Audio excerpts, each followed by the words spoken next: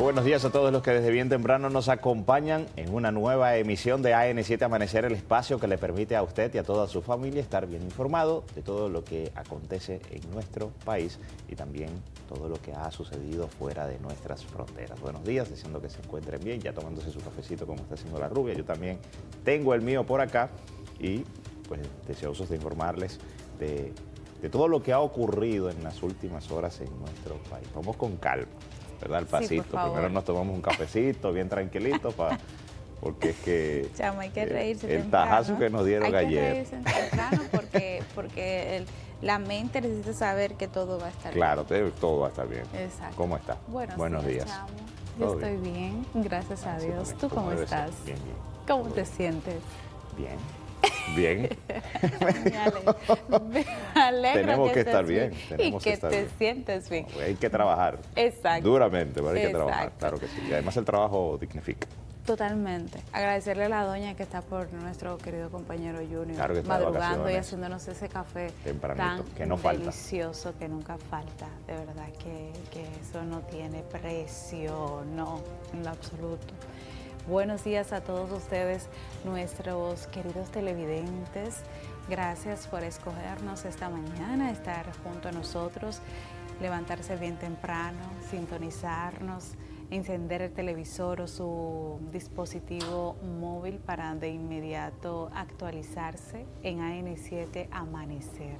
Es un verdadero privilegio para todo el equipo que se presenta delante de las cámaras, pero de igual modo los que están detrás de las mismas, porque sin ellos definitivamente que sin estos chicos nosotros no pudiéramos estar aquí al frente. Chamo, eh, No, sin que- más hay- preámbulos. No, no, hay que, hay que ir, obviamente. Sin más preámbulos, ya eh, eh, lo esperado, lo esperado por el pueblo dominicano.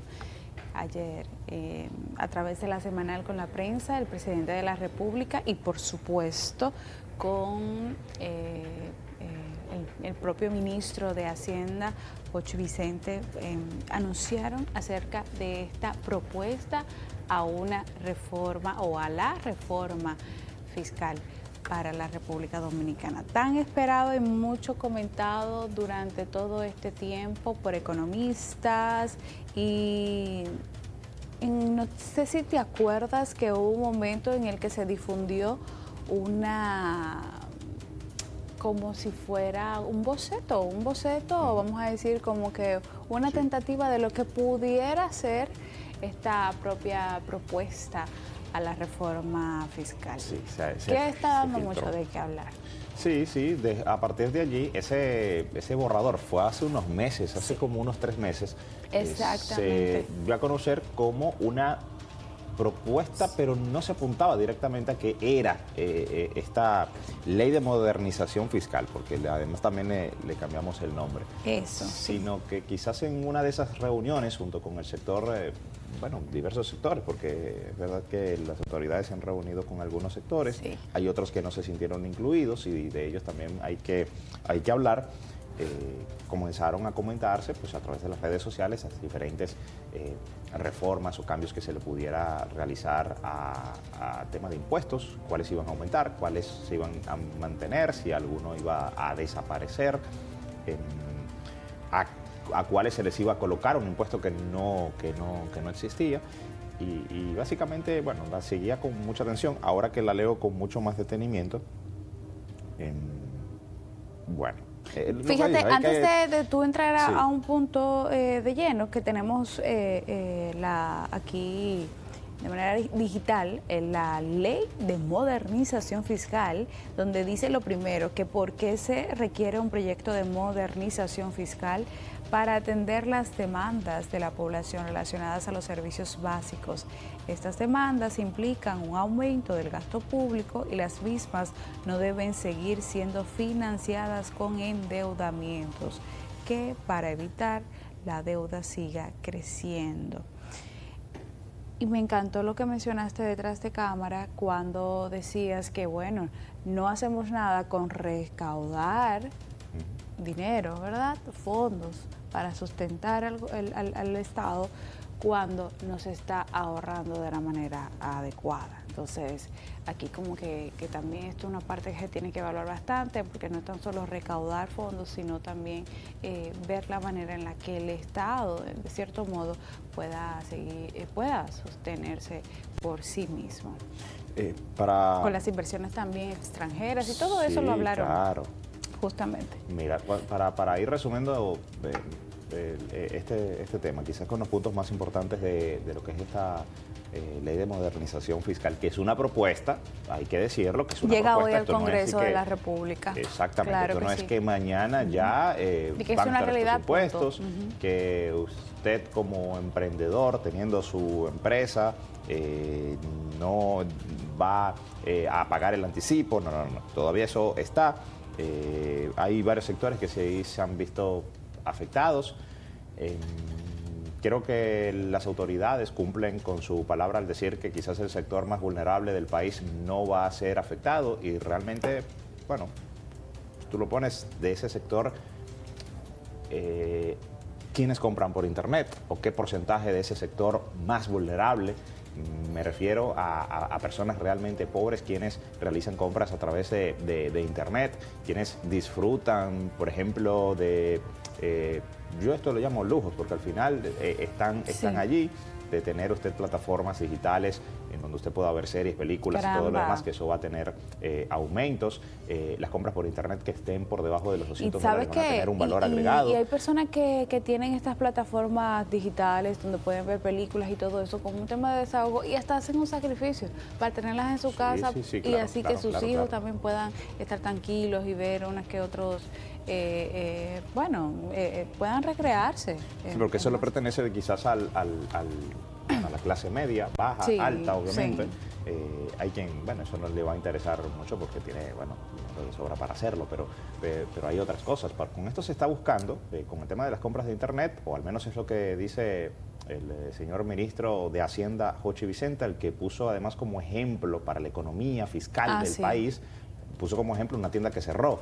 Eh, dice que esa empresa se fue del país, esa empresa no se ha ido del país, tiene otras tiendas acá en la República Dominicana, así que por allí ya se comete un error y, hay otras cosas en profundidad, porque que una tienda cierre no necesariamente eh, tiene que ser porque la gente deja de comprar, también puede ser por impuestos también puede ser por impuestos, también puede ser porque le cobran la luz muy alta, también puede ser porque el alquiler de ese local es bastante costoso, también puede ser porque la calidad de su ropa es tan mala que quizás la gente ya no compraba allí. Y las, o, y es creo que es lo más importante, una competencia desleal, no es decir que aquí en la República Dominicana una camisa me cueste 20 dólares cuando yo la puedo conseguir en internet a 5 dólares y que con todo de courier, ¿verdad? Que usted paga el envío y todo lo demás y paga impuestos también, eh, usted como mucho le puede salir en 10 dólares. Y aquí estoy exagerando porque no le va a salir al doble de lo que usted compra. Entonces, eso no es una competencia desleal, eso es comprar en los Estados Unidos, donde existe un libre, un libre mercado. Y no voy a profundizar acá porque no soy un economista, quizás otro de los más especialistas y renombrados eh, lo, lo comentará pero hay cosas que, que, la verdad eh, no, no, no, entran dentro de lo que es una ley de modernización fiscal seria. No se puede poner como ejemplo una tienda de ropa que termina cerrando en, el país por diversas razones, no necesariamente porque la gente dejó de comprar, porque compraba en, Internet. Y creo que el golpe quizás más fuerte, eh, entendiendo que gran cantidad del país anda montado, es el marbete. El marbete, al doble, uff al doble, es decir, que el que pagaba 1.500 pesos ahora va a pagar 3.000 pesos. Estamos hablando que, eh, por ejemplo, los vehículos hasta 5 años de fabricación pagan, van a pagar, pagarían dentro de la propuesta 6.000 pesos y los vehículos con más de 5 años de fabricación estarían pagando 3.000 pesos. Esto, esto de verdad que está un poco fuerte. Eh, por otro lado, también los subsidios a, ciertos ciertas instituciones o vamos a decir ciertas organizaciones. También este, se está hablando muchísimo acerca de la industria del cine. Eh, este subsidio por parte de esta industria que, continúa en ascenso aquí en la República Dominicana, emergiendo. Hemos visto otros, otras empresas internacionales que han estado interesadas en invertir en la República Dominicana para, para hacer sus películas y esto definitivamente pues eh, nos ayuda a nosotros para seguir creciendo como nación. Eh, están ellos ahí indicando que no fueron consultados, que no, están contentos. exactamente, no están contentos y que van a volver a, hacer, eh, alzar sus voces como lo hicieron anteriormente. Creo que fue hace un mes atrás o, menos de un mes atrás estuvieron hablando acerca de la ley del cine. en cuanto a este sector, quienes se van a ver más afectados eh, son los directores, productores, obviamente todas las personas que forman parte de producciones nacionales, pero bueno, todo lo que venga de afuera es para, para, aportar al país, para buscar quizás algún estudio, utilizar los equipos que ya se tienen acá en las diferentes empresas de la República Dominicana. Ciertamente eh, se ha dicho que se va a apoyar algunas producciones que que vayan en consonancia con los objetivos, no solamente del, Estado, sino del país. Sí, un documental acerca del turismo, un documental eh, ambiental acerca del, cuidado de los bosques de la República Dominicana, de las áreas verdes. Aquí poniendo ejemplos, estos iban a ser eh, apoyados por el Estado. El resto, bueno, va a tener que ir a buscar los chelitos al sector privado eh, que sabemos que tampoco es que andan regalando, dinero, porque eso y bueno, ya finalmente, eh, eh, que para contrarrestar ¿verdad? lo que se le estaría quitando a la población en cuanto a impuestos, más que todo el, ITEVIS, que ahora no se llamará ITEVIS, sino Impuesto de Valor Agregado, ¿verdad que sí? IVA, exactamente, así se va a llamar. Según la propuesta, si, si llega a ser eh, verdad eh, este, aprobada por el Congreso de la República Dominicana y son los, las ayudas sociales que se estaría aumentando el, presupuesto que se le da, eh, este dinerito que se le da a, algún, a ese sector de la población más vulnerable, a los más necesitados, como para contrarrestar, que se le está quitando de un lado, entonces se le está dando de otro. Pero al final yo entiendo que eso es lo mismo porque lo tienen que pagar de, de impuestos, de ITEVIS. De ITEVIS. Bueno. Entonces, eh, bueno. Esta, eh, esta, propuesta ya está, bueno, digital, Hay que ver lo que dirán los economistas porque nosotros, ¿verdad? Solamente no, no, no, estamos claro, en profundidad. de eh, comentando. Nosotros hacemos las preguntas, nos quejaremos con el economista, le presentaremos obviamente las quejas y, pues ellos eh, van a tener que encargar de explicarle a la gente, al grosso modo, ¿verdad? De manera sencilla, eh, todo, todo esto. Lo que mencionaba con el tema del ahorro, ya con esto arrancamos con los, con los titulares, en esta ley de modernización fiscal, en esta presentación bastante colorida, dice que la República Dominicana tiene el gasto público más bajo de la región, limitado el espacio fiscal para satisfacer necesidades básicas de la población.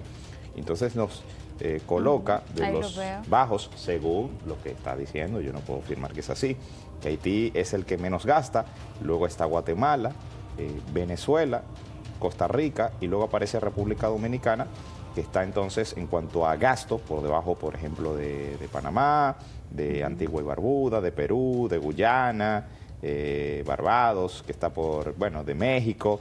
No podemos comparar también el estado, el, nivel poblacional. No, eh, tenemos que comparar eh, quizás con personas, países con 10 millones de habitantes, pero por ahí se va, que tiene por ejemplo Argentina, pero Argentina viene de, estar atravesando pues una situación. No vamos a comparar, por ejemplo, Brasil. Es el, el, que tiene más gasto, más gasto público, pero de la región es el país más poblado. Sí. o sea, hay que compararse con nivel. Yo no puedo comparar una tasa con, un teléfono celular. sí, claro, con algo, obviamente, que tú puedas hacer la comparación, que no exista eh, tanta diferencia. Que yo no escondo a nadie.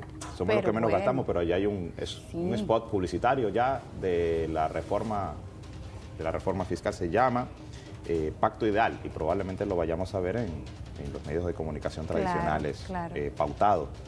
Eh, Exactamente, bueno. Bienvenidos la nueva República Dominicana. Todavía no está aprobada. ¿eh? Exacto. Todavía no está aprobada. Vamos a ver qué pasa entonces ya partiendo de hoy, cuando llegue al Congreso de la República Dominicana, todo lo que se va a tratar acerca de esta ley de modernización fiscal. Así iniciamos a N7 Amanecer, invitándoles a que se queden con nosotros.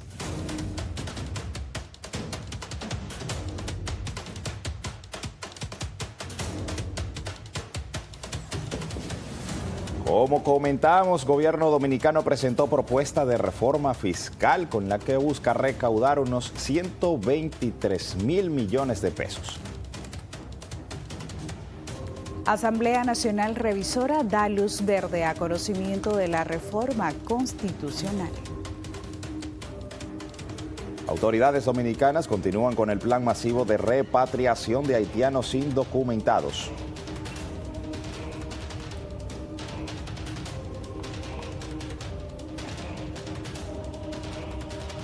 Asociación Dominicana de Profesores se vistió de luto tras el presunto embargo a sus cuentas realizado por el Ministerio de Educación.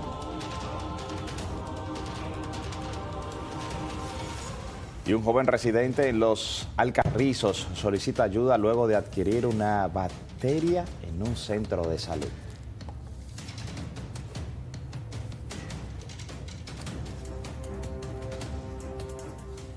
Iniciamos con las informaciones. La Federación Nacional de Trabajadores del Transporte Social Cristiano muestra preocupación por el presupuesto o, más bien por el presunto aumento de ciudadanos haitianos indocumentados operando de manera irregular en diversas rutas del país. Nuestra compañera Yulisa Tavares nos amplía este tema.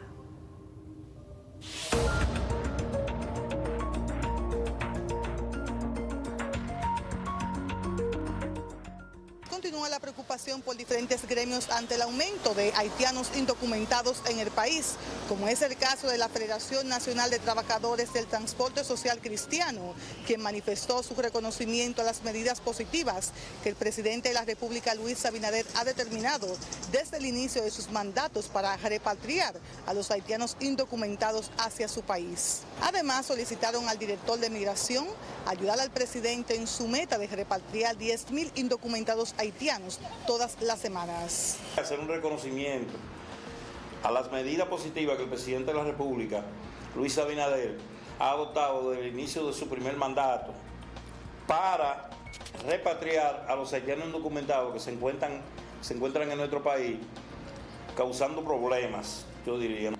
El presidente de la República ha anunciado que tienen un plan el gobierno para repatriar 10.000 nacionales haitianos semanales. El sector transporte puede aportar la mitad de esos, de nacionales haitianos con el simple hecho de que migración, la DGC y el Intran coordinen operativos en toda la parada de autobuses, de minibuses y principalmente de carro público en el, en el Gran Santo Domingo, el Distrito Nacional y en las principales paradas de motoconcho.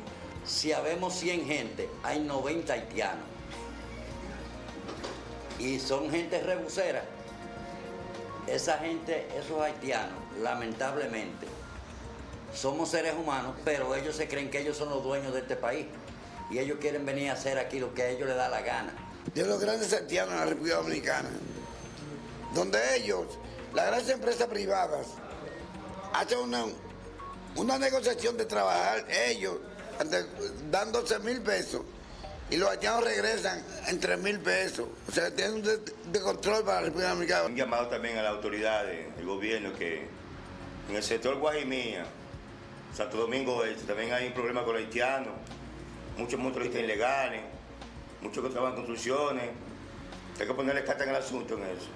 Asimismo, Mario Díaz, vocero del gremio, mostró su preocupación por el aumento de ciudadanos haitianos indocumentados operando de manera irregular en diversas rutas de transporte de pasajeros del Gran Santo Domingo, el Distrito Nacional y otras provincias del país. En ese sentido, en el día de hoy, le hemos depositado al director general de Migración, al director del Instituto Nacional de Tránsito y Transporte Terrestre, y al director de la Dirección General de Seguridad de Tránsito y Seguridad Vial de la República Dominicana una comunicación donde nosotros le pedimos que realicen operativos conjuntos en las rutas de transporte de pasajeros del Gran Santo Domingo, el Distrito Nacional y otra provincia importante del país y en toda la parada de motoconcho para que se apresen a los haitianos indocumentados y de esa manera sean repatriados hacia su país de origen que es Haití. También destacó que muchos andan con pasamontañas y portando armas blancas. Esos haitianos se encapuchan, nadie sabe quién va en ese vehículo, andan con armas blancas, la mayoría de esos haitianos con armas blancas eh, escondidas o visibles y ponen en riesgo la seguridad de los usuarios de este importante servicio. Asimismo, subrayaron la importancia de que se investigue y sancionen a todos los miembros de esta estructura mafiosa, la cual no solo ha facilitado la entrada y permanencia irregular de extranjeros, sino que también ha puesto en peligro la seguridad y la paz social de todo el país.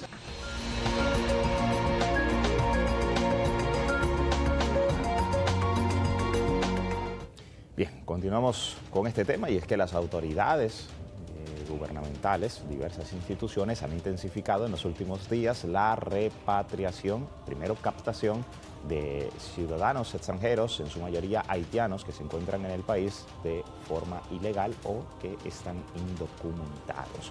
Nuestra compañera Lisette Barazo nos amplía.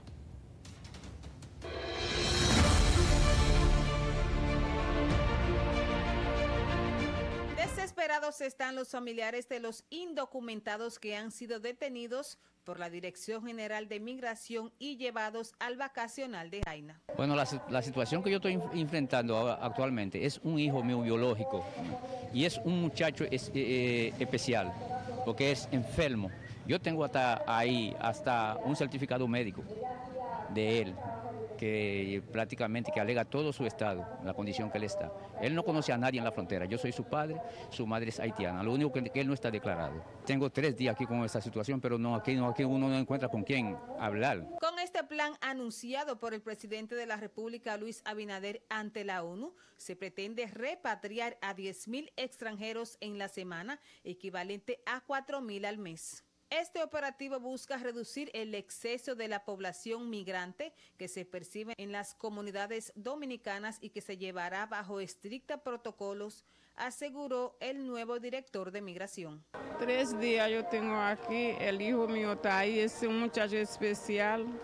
Yo no puedo mandar ni la comida, ni agua, nada de eso, nadie nos dice a mí nada. Él está ahí así, tres días aquí. ¿Qué enfermedad tiene él? Ya que ustedes los dos han dicho que es un joven especial. Sí, este muchacho nació, nació con problemas de chiquito de la cabeza, que la cabeza no crece.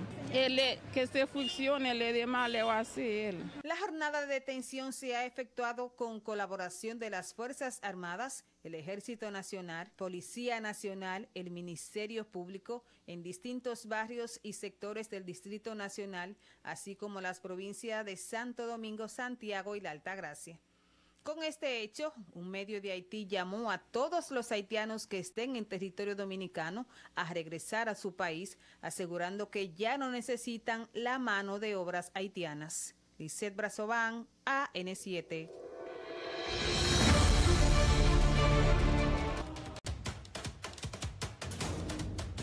De vuelta con más informaciones. Acogiendo la solicitud del Ministerio Público, la Oficina de Atención Permanente del Distrito Nacional declaró el caso complejo y dictó 12 meses de prisión preventiva para 8 de los 10 imputados en la Operación Búfalo NK, acusados de formar parte de una red de narcotráfico internacional con ramificaciones en Colombia, Puerto Rico y la República Dominicana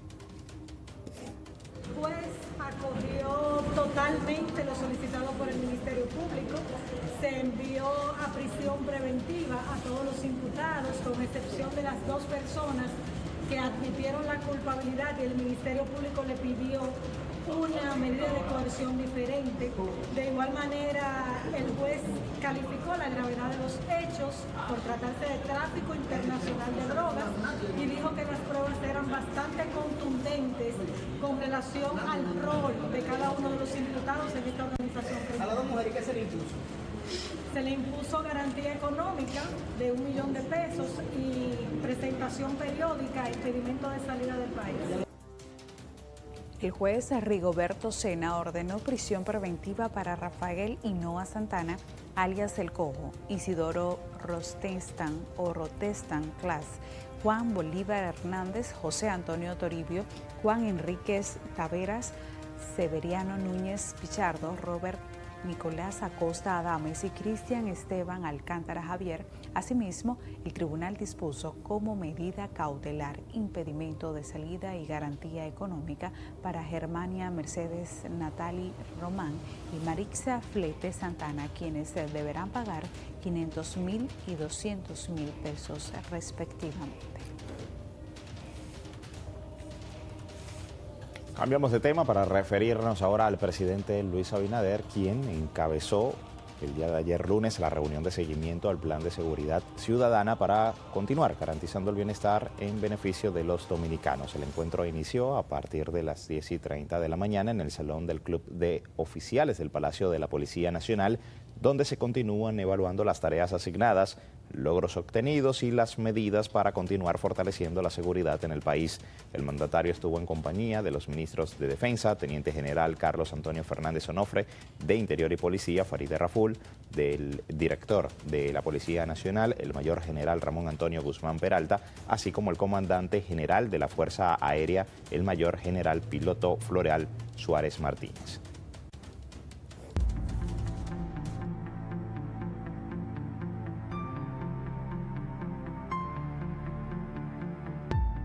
Bien, estamos de luto en protesta de que la ADP la quieren destruir y vamos a estar apoyando siempre nuestra ADP. Un lunes de duelo así fue declarado este 7 de octubre por la Asociación Dominicana de Profesores. Esto supuestamente tras el embargo de todas las cuentas del sindicato por parte del Ministerio de Educación. Algunos centros educativos se refieren en cuanto a este tema. Yulisa Tavares nos amplía.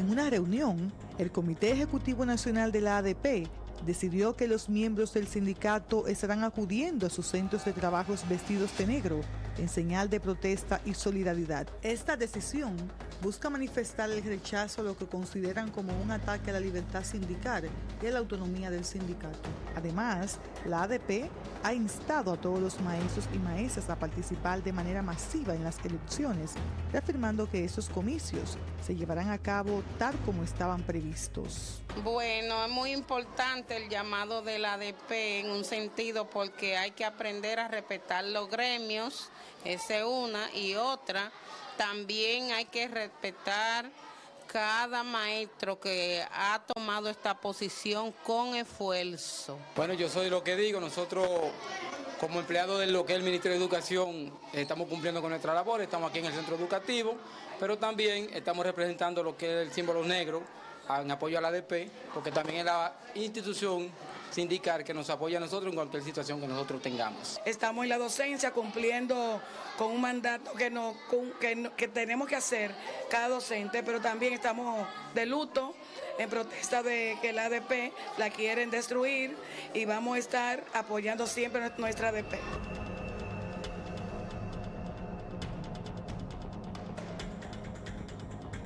Debemos de apoyar y continuar apoyando porque hoy hay algunos maestros que están siendo afectados. Mañana podemos ser cualquiera de nosotros y al igual vamos a seguir apoyando cualquier decisión que tome la ADP a favor del Magisterio Nacional. Nosotros estamos eh, de acuerdo con eh, el llamado que ha hecho la ADP. La ADP es, la ADP es el gremio que, que da la voz por los maestros.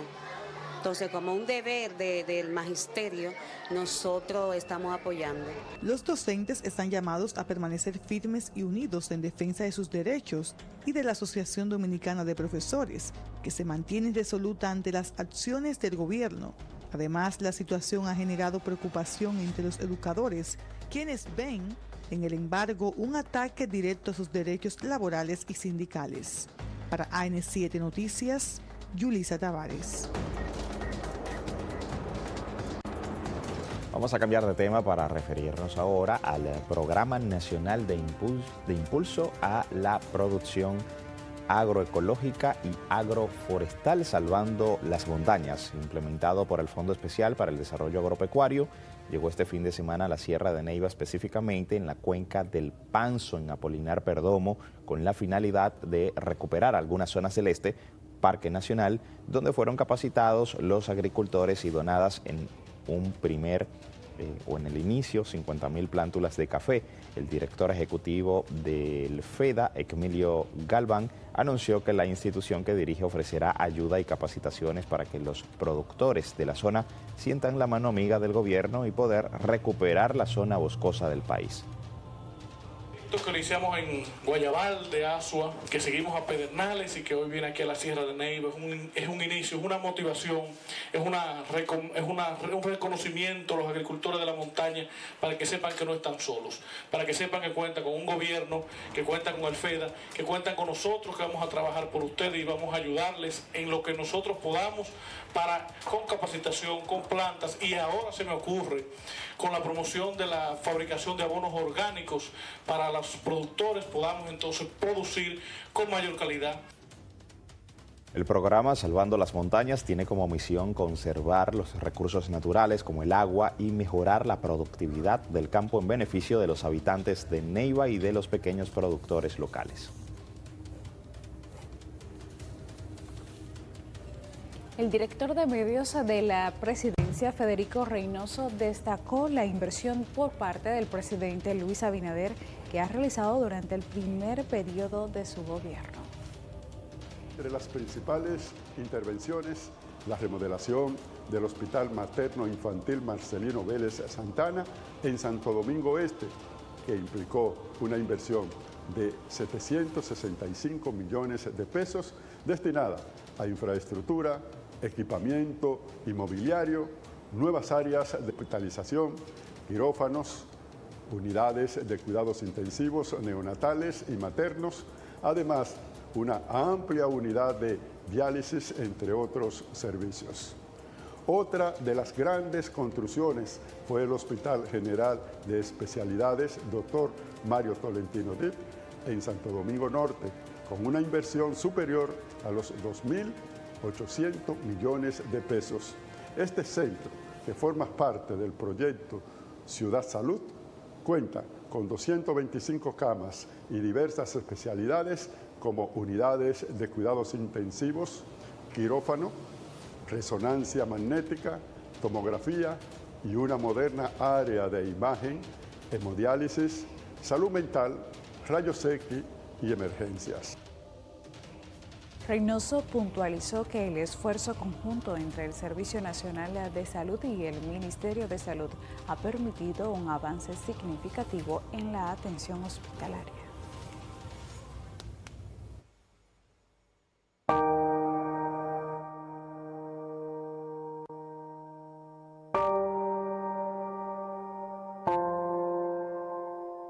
Yo venía caminando, tipo se paró un motor, me tiró dos tiros, me pegó uno en la espalda, yo me caí, más nunca he vuelto a caminar.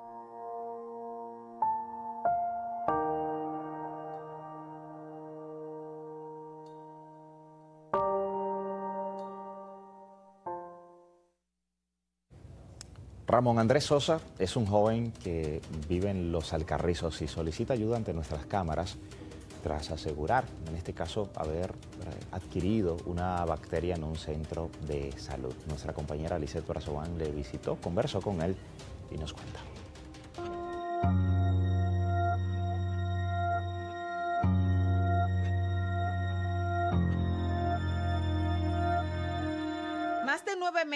Lleva el joven Ramón Andrés Sosa postrado en una cama, el cual tiene que realizar todas sus necesidades fisiológicas en pamper desechables. Yo venía caminando, tipo se paró en un motor, me tiró dos tiros, me pegó uno en la espalda, yo me caí, más nunca he vuelto a caminar. O sea, que te lo pegó en la columna. Me dio por ahí, y por ahí de barato todo eso allá adentro. ¿Cómo el día a día de ustedes, las personas que viven aquí? Porque tú no te puedes mover y necesitas ayuda. Oh, mi mamá viene, me limpia. Los vecinos me traen comida y vaina así. He ido, a varios hospitales, pero no me, no me reciben porque me dicen que donde me, atendían cuando me dieron el, el disparo, ahí es que tienen que atenderme y allá no me atienden. ¿Dónde? ¿En qué hospital es? En, el hospital Vinicio Calventi.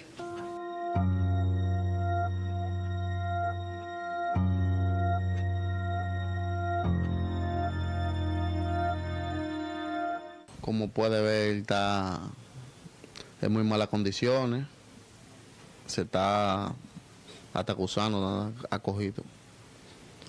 Tiene hasta hueso afuera, que la carne se le ha, se le ha removido. Entonces nosotros lo que le hacemos un llamado a salud pública, por favor, porque él no puede estar aquí en la casa.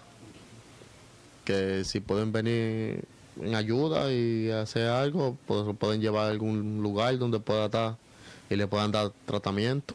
El presidente de la Junta de Vecinos y allegados a la familia solicitan la pronta intervención de las autoridades ante el hedor que impera en el lugar. Nosotros le solicitamos a las autoridades correspondientes que nos ayuden a resolver este problema que tenemos aquí, ya que tenemos un foco de contaminación con este paciente. Este paciente ha sido llevado a diferentes centros de salud y ha sido despachado. Hemos solicitado al área 8 de salud de nuestro sector y no nos han dado el apoyo que necesitamos, o bien sea, no han hecho nada. Por favor, alguien que tenga piedad, que venga por este paciente, por esta familia. Ya nosotros estamos cansados con el área 8, en el CAL 20, en el 28, se ha llevado todos esos hospitales y lo devuelven, ni lo miran. El 911 viene, le hace un allante, a veces no le hace nada, pero el mal olor no está afectando demasiado. Si usted desea colaborar con esta triste historia, puede llamar al 849-399-0992. Lisette Brazovan, AN7.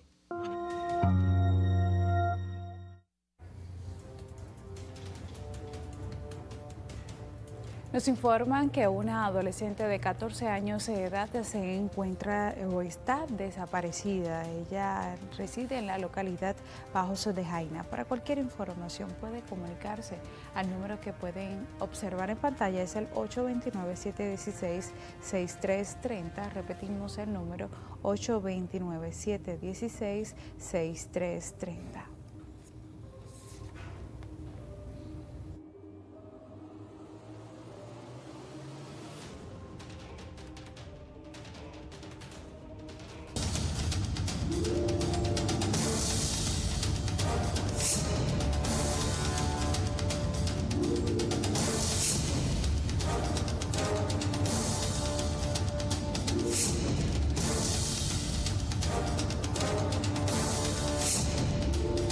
A detener las noticias, Lady. Vamos a la calle. Claro que sí. Chamo, tenemos a nuestra compañera Lisette Brazovan desde la avenida Jiménez Moya. Lisette, buenos días. ¿Qué nos cuentas? Adelante, Lisette. Buenos días. Gracias, Lady. Muy buenos días para ti, para todas las personas que nos sintonizan a esta hora, un martes, iniciando una nueva jornada laboral. Y hay que mencionar cómo se encuentra el tránsito aquí en la Avenida Independencia. Como pueden observar, aquí ya hay un caos vehicular. Las personas que se desplazan desde Jaina los bajos de Jaina y San Cristóbal, alguna de la circunvalación 6 de noviembre aquí. Aunque hay un poquito de, caos vehicular, el tránsito avanza con normalidad y sumamente fluido. Aquí podemos observar cómo las guaguas se desplazan a sus diferentes destinos de la avenida Independencia hacia el Parque Independencia 27 de febrero y algunas zonas aledañas hacia la parte de Santo Domingo Este. Aquí ustedes pueden ver el flujo vehicular, las guaguas avanzan, las personas también que salen de la estación del metro aquí en el centro de los Eures, ubicado en la avenida Independencia. Personas que ya se desplazan a esta hora, siendo las 6.50 de la mañana, que se desplazan hacia sus diferentes puntos de destino y algunos ya desde temprano su jornada laboral. Como podemos observar, situación similar se ve desde aquí, desde los vehículos que bajan desde la Correa Isidrón 27 de febrero, el Parque Mirador Sur, Los Ríos y algunas horas y algunos puntos de las rutas que conforman la 27 de febrero. Aquí también todo transcurre con total normalidad, los vehículos avanzan de manera súper rápida, así que las personas que todavía a esta hora no han salido de sus casas tienen todavía la mañana tranquila y el tráfico avanza sumamente acelerado. Aquí podemos ver el corredor de la Winston Churchill que esta es una de las rutas principales en la zona que va desde la Avenida Independencia hasta la Winston Churchill, que, que es una de las rutas que recientemente se acaban de instalar luego de que fueran eliminados los carros de concho aquí en esa avenida. Miren, aquí el tránsito sumamente fluye con normalidad y algo que, algo que hay que mencionar es la cloaca que habíamos reportado el viernes pasado, donde algunos motoristas que conchan aquí en el centro de los héroes, en la estación Centro de los Héroes, en la Avenida Independencia, eh, habían reportado durante un tránsito también el viernes que la cloaca, el hedor que emanaba de de allí era insoportable para las personas que tienen negocio y que llevan años buscando ser sustento de sus familias. Ya finalmente fue corregida totalmente, al parecer una brigada de obras públicas, pues se encargó de eso y ya, gracias a Dios, algunos de las personas que transitan por el lugar también agradecieron a este equipo por, por hacerse eco de esa problemática que no solo afecta a los, los que transitan por esa zona, sino también a los choferes que también los vehículos se deterioran. Aquí podemos observar la parada de los motoristas, una parada sumamente concurrida en, esa zona. Es una de las que más pasajeros transitan día a día. Y como podemos observar, aquí hay varios motoristas. Ellos se desplazan hacia la avenida 27 de febrero y algunos puntos aledaños aquí en esta zona que conforman la avenida Independencia. Todo hasta el momento fluye con normalidad un poco de, entaponamiento aquí en esta zona, pero todo, nada fuera del normal, todo fluye con normalidad y hasta este momento pues las personas todavía pueden salir de sus casas tranquilos y totalmente relajado. Podemos aquí mencionar también el señor que como todos los días vende su té, su café, su pan, su galletica, su maní. Para las personas que se desplacen, que quieren masticar algo en horas de la mañana, tomarse un té o un café bien caliente para llevarse a su lugar de destino. A veces uno con el aire, con ese frito que tiene uno dentro, pues aquí usted puede venir y comprar su té y acompañado de su pan, como no, para que no se lo pueda tomar solo. Aquí ese joven lleva años vendiendo ese tipo de, galletas, así como té y otras cosas de las que ya le habíamos mencionado. Ahí siempre está full, gracias a Dios, parece que al don le va bien, pero la gente siempre acude a sus lugares. Yo misma aquí me voy a beber mi, mi té que bastante nos gustan a nosotros, mi tececito en el día de hoy, para llegar bien calientita ya al canal. Lady Javier, yo con esas informaciones, el tránsito está sumamente despejado. Las personas que no han salido de sus hogares, pues le invitamos a salir con tiempo y que el tránsito todo hasta ahora transcurre con normalidad. Yo con esas informaciones retorno con ustedes al estudio. Chamo. Un momentito, por favor. Yo espero que Lisette nos esté escuchando para que por favor traiga té. A ella nadie le mandó a decirlo. Por venden, muy bueno. sí, sí, nos antoja. Ya usted porque no come empanadas, ¿verdad? Yo no estoy comiendo tanto ya en la calle, pero, pero con el té está bien. Gracias, Lisette. Gracias.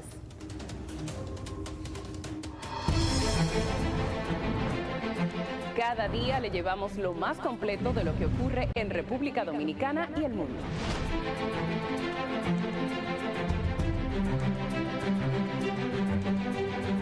Todo el equipo de AN7 Noticias le informa con objetividad e inmediatez en nuestras tres emisiones de lunes a viernes, Amanecer, Meridiano y Estelar.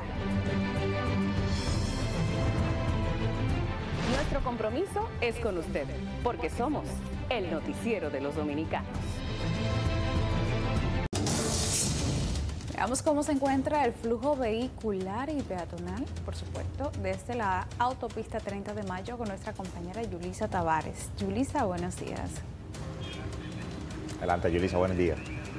Gracias Lady y muy buenos días para ti y todos nuestros televidentes que cada mañana están sintonizando nuestra emisión matutina. Así es, en estos momentos me encuentro desde la 30 de mayo. Desde ya un llamado a toda nuestra audiencia debido a lo complicado que se encuentra el tránsito vehicular en esta zona. Vamos a mostrar el panorama de inmediato de esos vehículos que vienen de la parte este del país y de diferentes eh, zonas aledañas, sectores específicamente, ustedes pueden notar ahí la fila de vehículos que estamos visualizando a esta hora de la mañana, 7 y 22, y miren el caos de vehículos públicos y privados que ya están circulando por esas inmediaciones del país. Aquellos vehículos que vienen desde San Luis, toda la parte este, esas provincias, ¿verdad? Tomayor, San Pedro, Boca Chica, entre otras, ya vean la cantidad, como precisaba, de vehículos que están circulando. Hemos notado a algunos agentes de la DQC permitiendo que el tránsito pueda fluir un poco más rápido esto debido a, como indicaba, a lo complicado que está. Es bueno que se tiene que trasladarse al Distrito Nacional o trasladarse a la parte sur del país, que salga ahora de casa, debido ya a lo congestionado que se encuentra el tránsito y así usted pueda llegar con tiempo a sus labores, aquellos dominicanos que aprovechan las mañanas también para realizar alguna diligencia pautada, es bueno que mantenga la paciencia. El puente flotante un caos. Si se puede ir el día de hoy por el puente Duarte, que veo aquí en aplicaciones que se encuentran más despejados, lo puede hacer. Eso también debido a que están desviando a esos vehículos que vienen de la parte sur y del, del Distrito Nacional también. Ustedes pueden notar, vamos a mostrarle, Francis, otro agente más adelante, cerca del, de la, del fuerte San Gir, eh, permitiendo también que el tránsito se desvíe por otras calles que se conectan aquí con la 30 de mayo para evitar que se siga complicando más el tránsito vehicular, debido a que está súper intenso el día de hoy, una fila vehicular, tanto de los que vienen de la parte este como también de los que vienen de la parte sur del país. Conducir con prudencia siempre en esa recomendación. Por eso nos trasladamos cada mañana a diferentes puntos del país con la intención de que usted esté informado cómo se encuentra el tránsito vehicular en las mañanas y que pueda llegar a tiempo a su destino y con bien. Aquí vamos a mostrar también la, la playa bien, eh, podemos notar, ustedes saben que desde la madrugada ha estado cayendo mucha agua debido a un mal tiempo, que también nos vamos a trasladar a, Indomet para también informarles a ustedes respecto a cómo están las condiciones del tiempo para este martes. Miren ahí la cantidad de lila, esto debido a las crecidas del río Osama. Siempre esto acontece siempre que llueve, eh, que cae mucha agua aquí en el territorio dominicano. Ustedes pueden notar ahí la cantidad que ya hemos visto de lila en esta playa Guibia y también en las demás que se encuentran en esas proximidades. Hemos notado muy pocos ciudadanos en esta mañana. Me imagino que esto debido a que ustedes saben que cuando llueve muchos se quedan en casita, eso que tienen ese tiempo, pero algunos sí ya están transitando o corriendo por esas aceras que conectan aquí en la playa Huivia, aquí específicamente cerca también de la misma, muchos aprovechan para ejercitarse, ustedes pueden también, esos peloteros que se dan cita a, eh, este lugar, a correr, hacer ejercicio, algunos también aprovechan para hacer diferentes rutinas, cuidar su salud, también su figura y otros como los peloteros que indicaba, que mayormente se les exige que cada mañana lo hagan. Aquí también vemos el parque que se encuentra ubicado, el Parque Cervantes, está despejado en esta mañana, es muy concurrido por dominicanos también siempre, eh, como estamos también cerquita de la zona colonial, algunos aprovechan, también se sientan ahí, comparten, que un té, que un café, etcétera. Y esto también hemos notado, como indicaba, que está totalmente despejado. Eh, hemos, visto, hemos visto también algunas contaminaciones, cúmulos de basuras en esta zona. Más adelante ya estaban las personas del ayuntamiento del Distrito Nacional eh, limpiando. Ustedes saben que cuando llueve en este país es un caos con los filtrantes, un caos con la basura, un caos con las lilas en las playas y demás contaminaciones. Por eso es bueno siempre el llamado a conciencia de no tirar basura en las calles para evitar que acontezcan situaciones e incidentes lamentables cuando llueve aquí en el país o cuando anda un fenómeno atmosférico. Así es, se encuentra el tránsito vehicular en esta zona.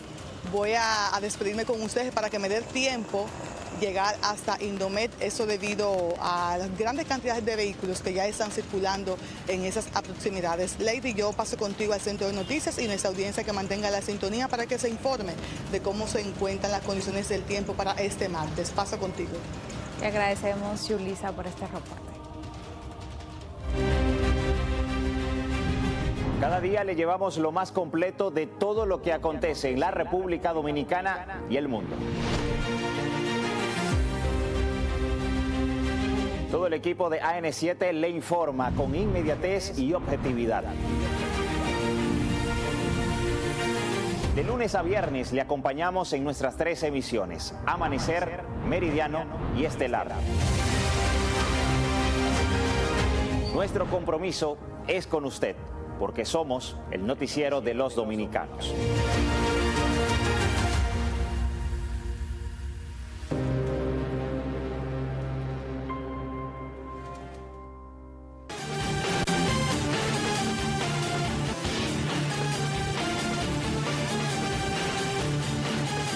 Ahora con las informaciones internacionales escalofriantes, lo que ha sucedido en el sureste de Francia, en Marsella, donde un joven ha sido o fue apuñalado en 50 ocasiones y quemado vivo.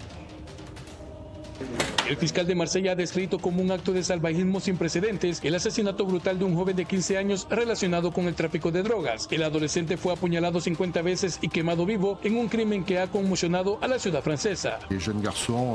Según las autoridades, el joven había sido contratado a través de las redes sociales por un preso de 23 años para intimidar a un competidor, recibiendo a cambio la promesa de 2.000 euros. Sin embargo, el adolescente fue descubierto por una banda rival que lo atacó con extrema violencia tras su asesinato. El mismo preso contrató a otro menor de 14 años para llevar a cabo una venganza. Este joven debía matar a un miembro de la banda rival por 50 mil dólares, pero en su camino hacia la misión terminó disparando al conductor que lo transportaba tras negarse a esperarle. Este conductor, un hombre de 36 años que no tenía ninguna relación con el tráfico de drogas, se convirtió en la primera víctima colateral del año en esta violenta escalada del narcotráfico en Marsella.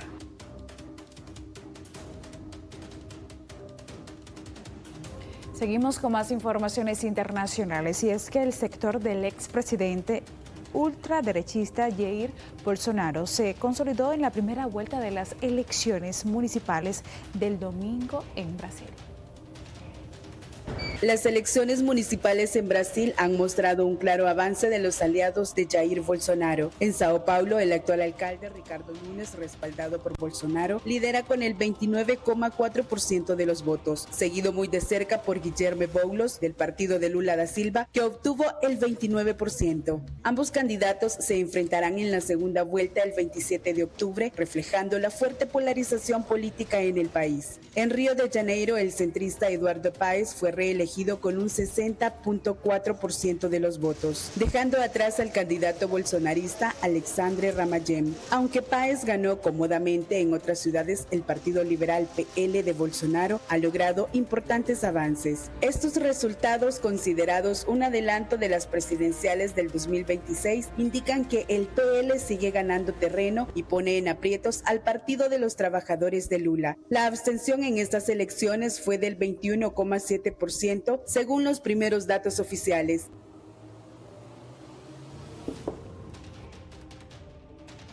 Bien, seguimos con más noticias internacionales y ahora nos referimos al expresidente de los Estados Unidos, actual candidato republicano, Donald Trump, quien regresó justamente a Butler, Pensilvania, el lugar en donde sufrió el intento de asesinato hace ya unos meses el expresidente estadounidense prometió a sus seguidores que nunca se rendirá y recordó el atentado que casi le cuesta la vida.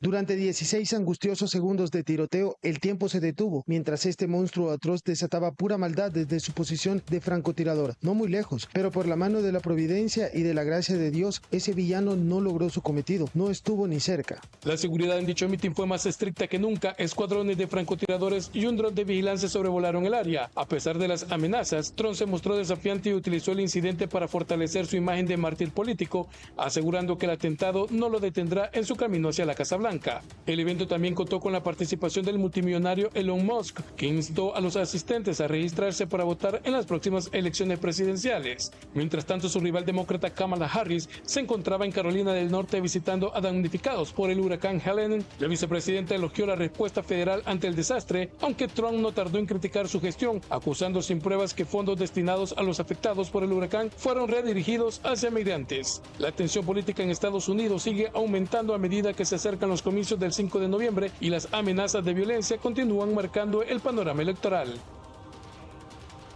Increíble como pasa el tiempo. Se cumple un año del ataque masivo de Hamas contra Israel, un hecho que ha desatado una de las escaladas más violentas en la región en los últimos tiempos. Este mes marca el primer aniversario del ataque de Hamas contra Israel, que comenzó con el lanzamiento masivo de más de 4.300 cohetes desde la franja de Gaza hacia el territorio israelí el 7 de octubre del 2023. Ciudadanos de Israel, estamos en guerra.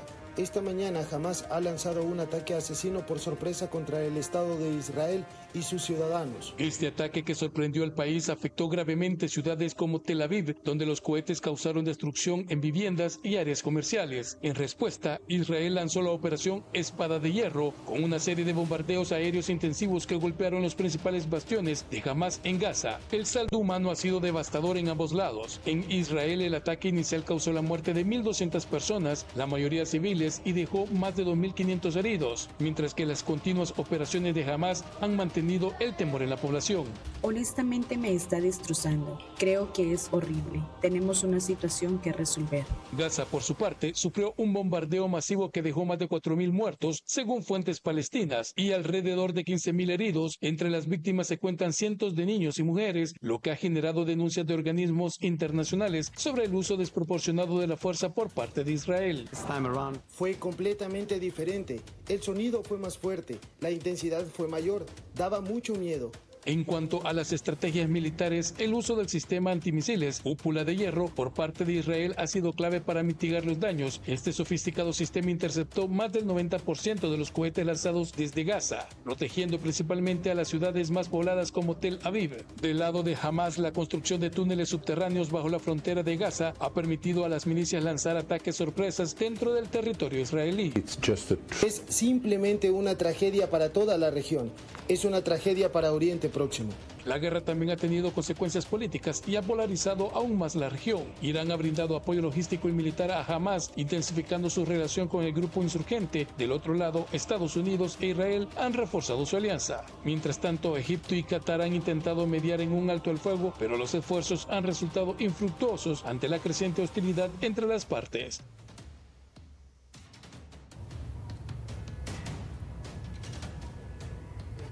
Con estas informaciones hacemos una pausa. Regreso más aquí en AN7 Amanecer.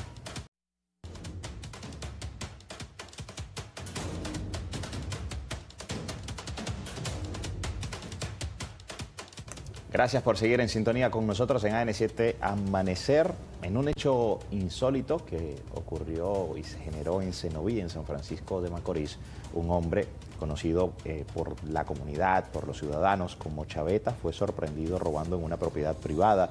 Los vecinos, cansados de sus repetidas fechorías, decidieron tomar justicia por mano propia, amarrándolo de manos y pies como forma de darle una lección. El incidente ha causado revuelo en la zona donde Chaveta es conocido por sus actos delictivos. Las autoridades fueron notificadas para tomar control de la situación mientras los residentes expresaron su frustración ante la recurrente inseguridad que impera en esta comunidad.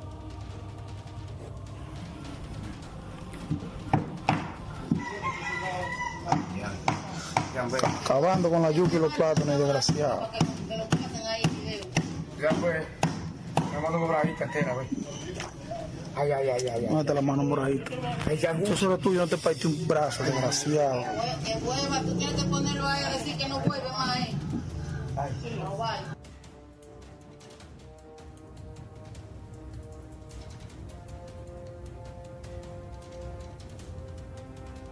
Un violento enfrentamiento tuvo lugar este domingo durante la carrera de bajo cilindraje en la pista profesional de motocicletas en Atomayor. Testigos reportaron que la pelea estalló entre grupos de personas de la Romana y Atomayor, quienes estaban presentes para disfrutar del evento. La confrontación se tornó caótica, con participantes utilizando trompa o trompadas, palos, piedras y botellas como armas. Aunque varios involucrados resultaron heridos, se desconoce el número exacto de lesionados hasta el momento. Las autoridades están investigando los hechos para esclarecer las causas de esta violenta disputa.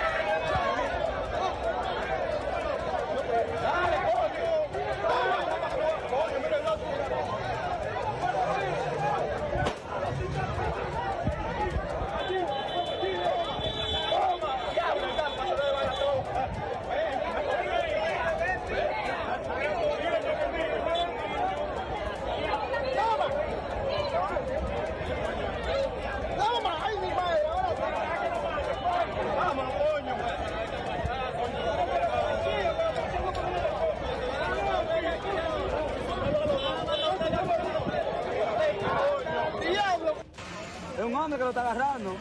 Oh, toma, te dije. Yo te dije que un hombre que lo está agarrando. Y lo, y lo grave el pecozón. Güey, y está grabado el pecozón. Yo te dije que un hombre que lo está, lo está agarrando.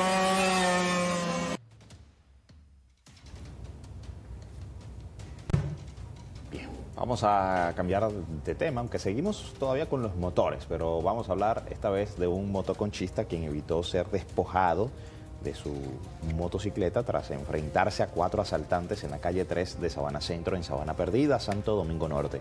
En un video que fue captado por una cámara de seguridad, pues se observa como este hombre, al verse acorralado, comenzó a lanzar piedras a los delincuentes, logrando que estos se dieran a la fuga. Bueno, afortunadamente no estaban armados.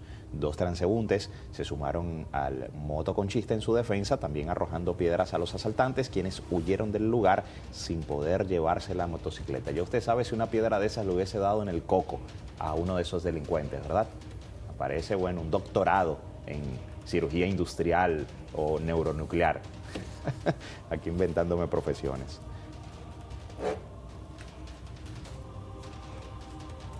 En otras informaciones, una familia dominico-italiana denuncia secuestro y maltrato tras permanecer durante dos días encerrados por el cambio de cerradura en su residencia en Valladolid, esto provincia de La Alta Gracia. Nuestro corresponsal José Luis Rosario nos amplía.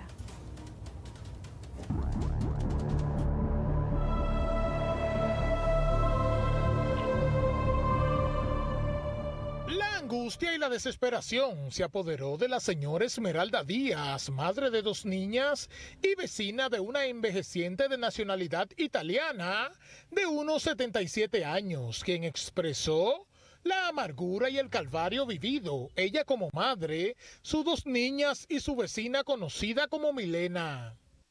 Yo espero que se resuelva, que se me haga justicia, que todo se pueda resolver, ya que yo duré dos días con dos niñas, una de tres y una de ocho, trancada, sin poder salir de mi casa, sin agua, sin nada. Tenemos dos años de tratando de resolver y no hacen nada, o sea, no dan una solución definitiva.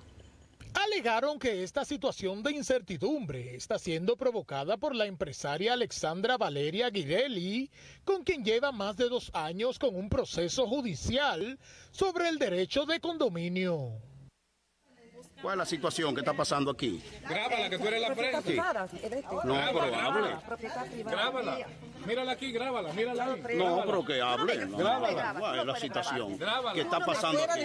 Ok, No me agredas. Ven esta. Eh, mira cómo me empuja. Oh, grábala, claro, grábala. está grabado. Grábala. Aspetta la polizia, aspetta la Eso quanti. La policía viene. Claro. Grábala. Fíjate cómo me...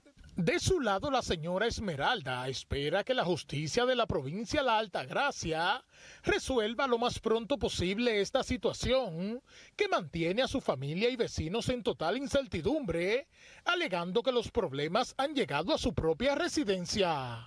Nosotros vinimos aquí, nos comunicamos con el Ministerio Público, vino Politur, cayó un aguacero, estábamos la señora y yo, venga para acá conmigo. Aquí la señora dando gritos, mojándonos, y lo que dijo la policía es tan simple como que ellos no podían entrar porque era propiedad privada. Ella entonces, sin poder salir ni entrar de su casa. Entonces nosotros procedimos a hacer un levantamiento con un ministerial de alguacil que vino, verificó, hizo lo mismo que nosotros, brincó por atrás, entró, hizo video, fotos y levantó un acto en el cual se establece que ese llavín estaba cerrado y que su llave con la que ella entraba y salía con frecuencia no funcionaba.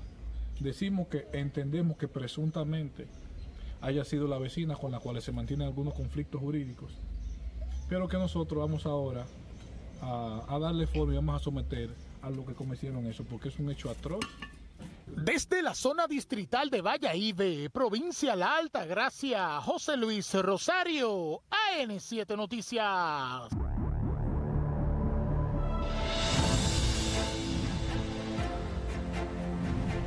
Cada día le llevamos lo que acontece en la República Dominicana y el mundo. Todo el equipo de AN7 Noticias le informa con inmediatez y objetividad.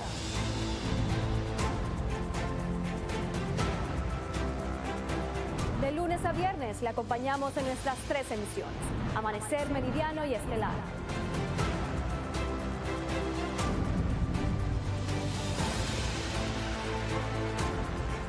Nuestro compromiso es con usted, porque somos el noticiero de los dominicanos.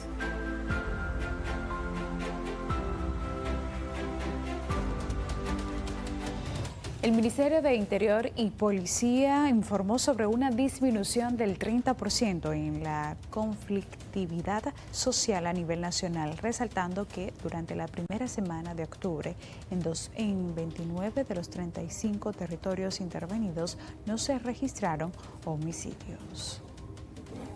Es así que también los, nuestros indicadores demuestran que en esta primera semana de octubre, de 35 territorios que de manera especial ha estado midiendo la fuerza de tarea, incluyendo 39, 31 provincias, tres municipios que por su población están siendo intervenidos para poder verificar las incidencias de ellos, solamente en 29 territorios, en 29 territorios se presentan ausencias de homicidios. Este fin de semana solamente un accidente de tránsito eh, pues se generó que tuvo una víctima mortal y fue a causa de un ciudadano que salió en vía contraria en plena autopista en estado aparentemente de embriaguez y no pudo pues acatar la ley como, como se manda, ¿no?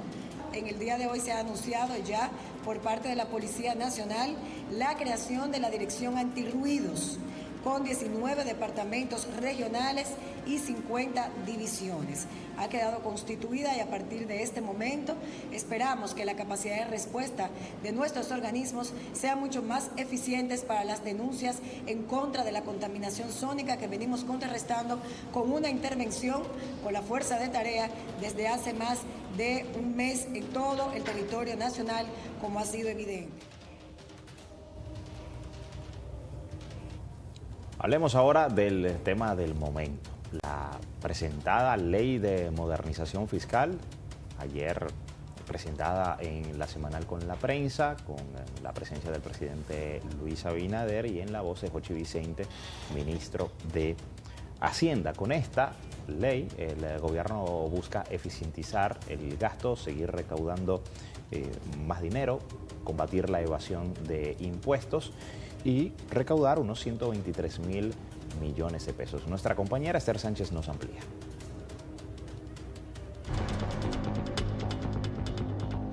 Con la reforma fiscal, el gobierno propone elevar el costo del marbete de 1.500 a 3.000 y los vehículos con menos de 5 años deberán pagar 6.000 pesos. Por otro lado, nuestra propuesta incluye el establecimiento de un impuesto a la bebida alcohólica azucarada que dependerá del grado de azúcar añadida.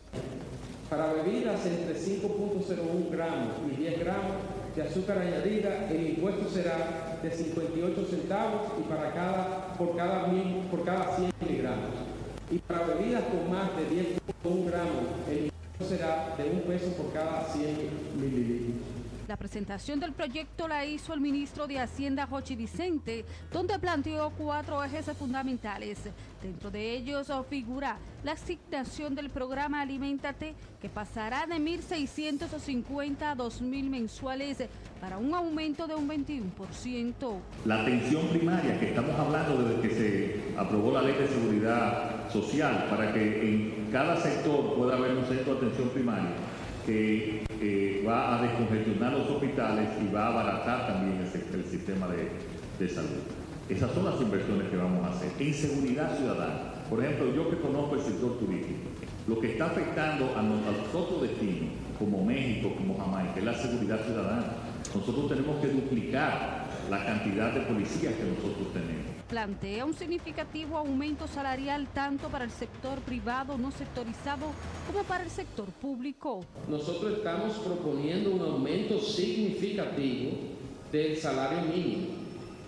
Entonces, esas dos medidas lo que hacen es devolver capacidad de compra a la población de menores ingresos. Asimismo, buscará la eliminación de los anticipos para las microempresas y las personas físicas, es decir, que en el caso de las empresas pequeñas y medianas, el anticipo de solo el 40% y 60% de los beneficios reportados en el periodo anterior respectivamente. Entonces, ¿qué es lo que le estamos dando con la ley?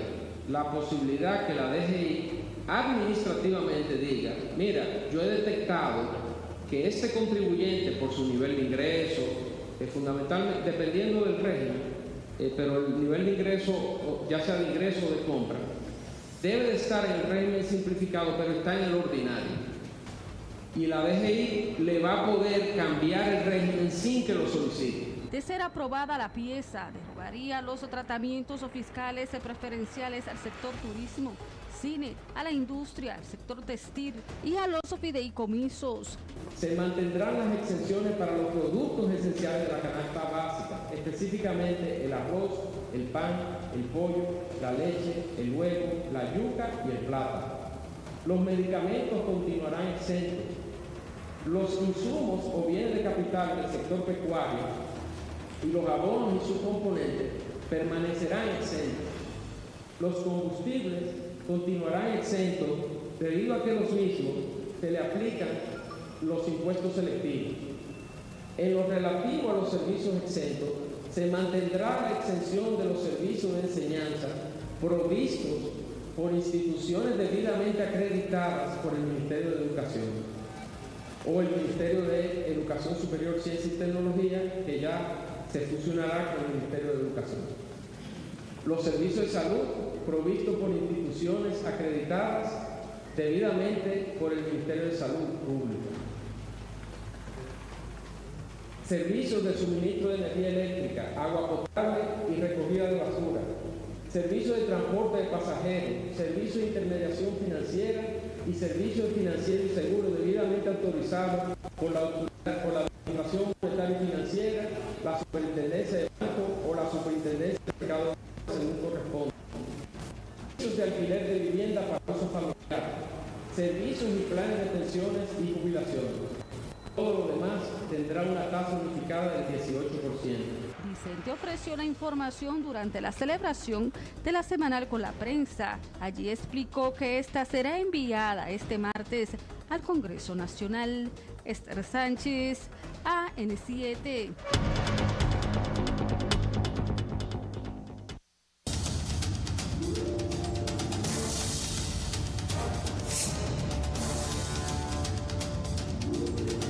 Lo prometido es deuda, chavo. Ya nuestra compañera Yulisa Tavares se encuentra desde dónde? Desde el Instituto Dominicano de Meteorología, antiguamente, ¿verdad? Conocido como la Oficina Nacional de Meteorología, ONAMET. Ya está por allá Yulisa Tavares para contarnos qué va a suceder hoy con el tiempo, qué se espera. Yulisa, adelante. Buenos días. Buen día, Yulisa. Así es, Lady Javi, lo prometido es deuda y luego de un tremendo tapón que me tocó en la 30 de mayo, ya estoy ubicada desde Indomet. A mi lado el predictor Henry Agramonte para que nos dé los detalles actualizados referente a cómo están las condiciones del tiempo. Muy buenos días. Sí, muy buenos días. De tempranas horas de la madrugada ocurrieron lluvias fuertes sobre el Gran Santo Domingo, Santiago Rodríguez, entre otras provincias. Eso se debe a una vaguada que aún se está alejando de nuestro territorio, pero el viento cálido del sureste, los efectos locales mantienen la humedad para que sigan generándose estos aguaceros de manera paulatina sobre el territorio nacional. Para hoy tenemos que las lluvias de tempranas horas en la Altagracia, en algunos puntos del noreste y aquí en el litoral costero caribeño se registraron estas precipitaciones. Luego, a la tarde, estas lluvias se van a trasladar lo que es del noroeste, el suroeste y algunos puntos de la zona fronteriza, provincia como nuevamente como Santiago Rodríguez, Dajabón, eh, Puerto Plata, Santiago, La Vega, eh, San Juan de Maguana, entre otras provincias, van a recibir precipitaciones durante la tarde hasta las primeras horas de la noche. El Indomé mantiene varias provincias en alerta meteorológica ante posible crecida de ríos, arroyos y cañadas, así como inundaciones urbanas. Tenemos a Hermana Mirabal, bien eh, las temperaturas van a continuar calurosas debido al viento cálido. Eh, a las personas suficiente líquido, vestir ropa ligera, preferiblemente de color no exponer a la solamente a la mañana a 4 de la tarde. Tenemos el huracán Lely, pasó a, tormenta tropical Lely, está cerca de 2.150 kilómetros al oeste y noroeste, un viento máximo de unos 110 kilómetros por hora y se mueve a 19 kilómetros por hora. Muchísimas gracias al productor Henry por esta referente a las recomendaciones de casa, eso 2 de la tarde, 3. Qué bueno. ¿No Henry? Y las un país tropical y está independientemente se sienten algunos aguaceros en el territorio dominicano con este de amanecer con ustedes chicos. Te agradecemos, Julisa, por este reporte. Estaremos muy atentos.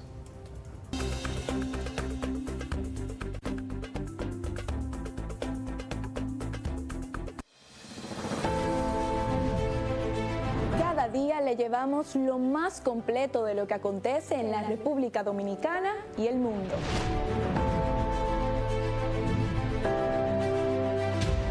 Todo el equipo de AN7 Noticias le informa con inmediatez y objetividad.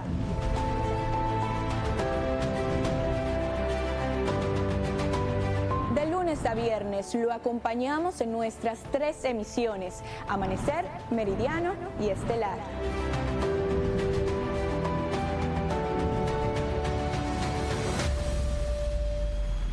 Nuestro compromiso es con usted, porque somos el noticiero de los dominicanos.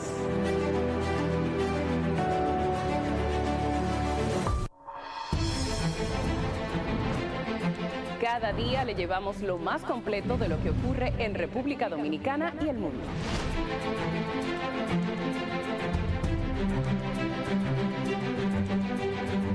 Todo el equipo de AN7 Noticias le informa con objetividad e inmediatez en nuestras tres emisiones de lunes a viernes, Amanecer, Meridiano y Estelar. Nuestro compromiso es con usted, porque somos el noticiero de los dominicanos.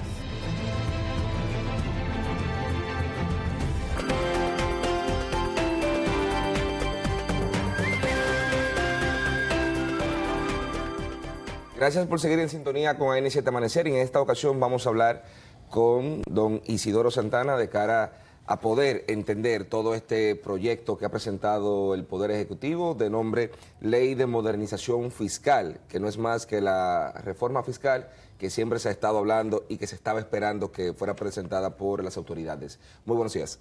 Buenos días y un placer estar aquí con ustedes.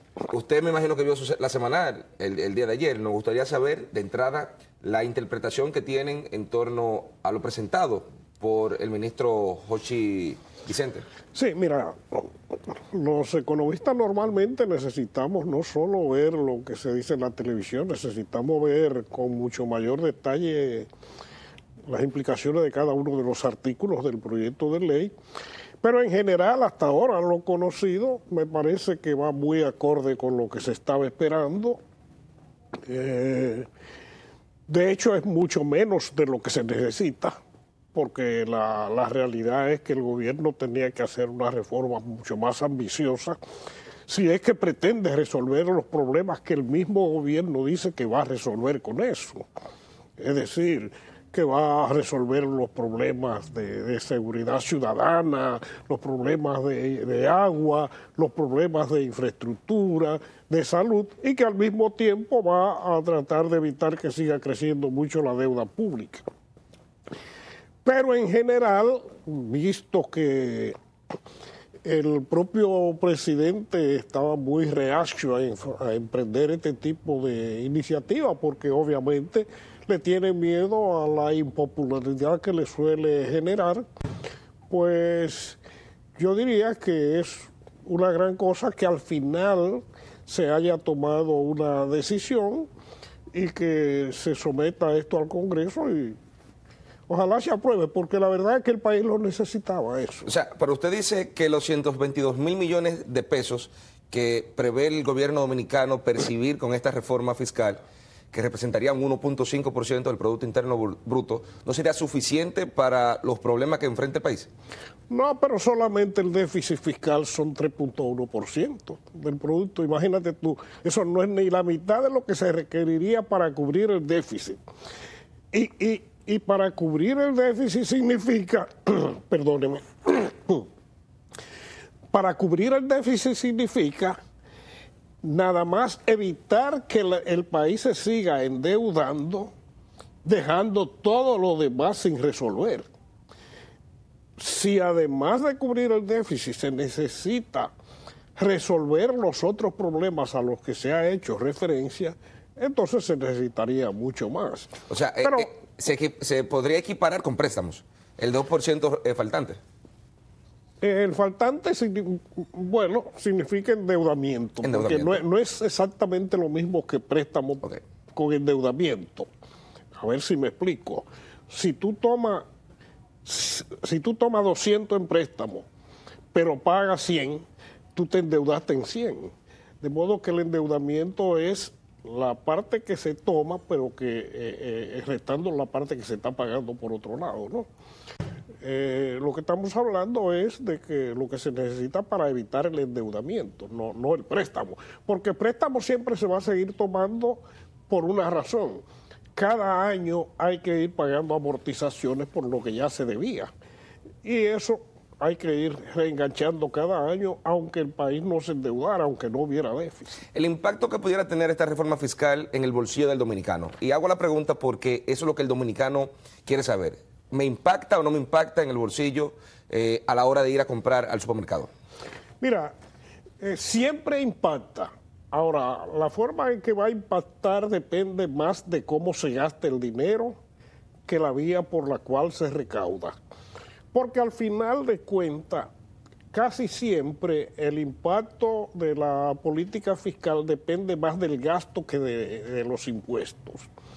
Eh, los impuestos siempre significan una carga para alguien. De eso no hay ninguna duda.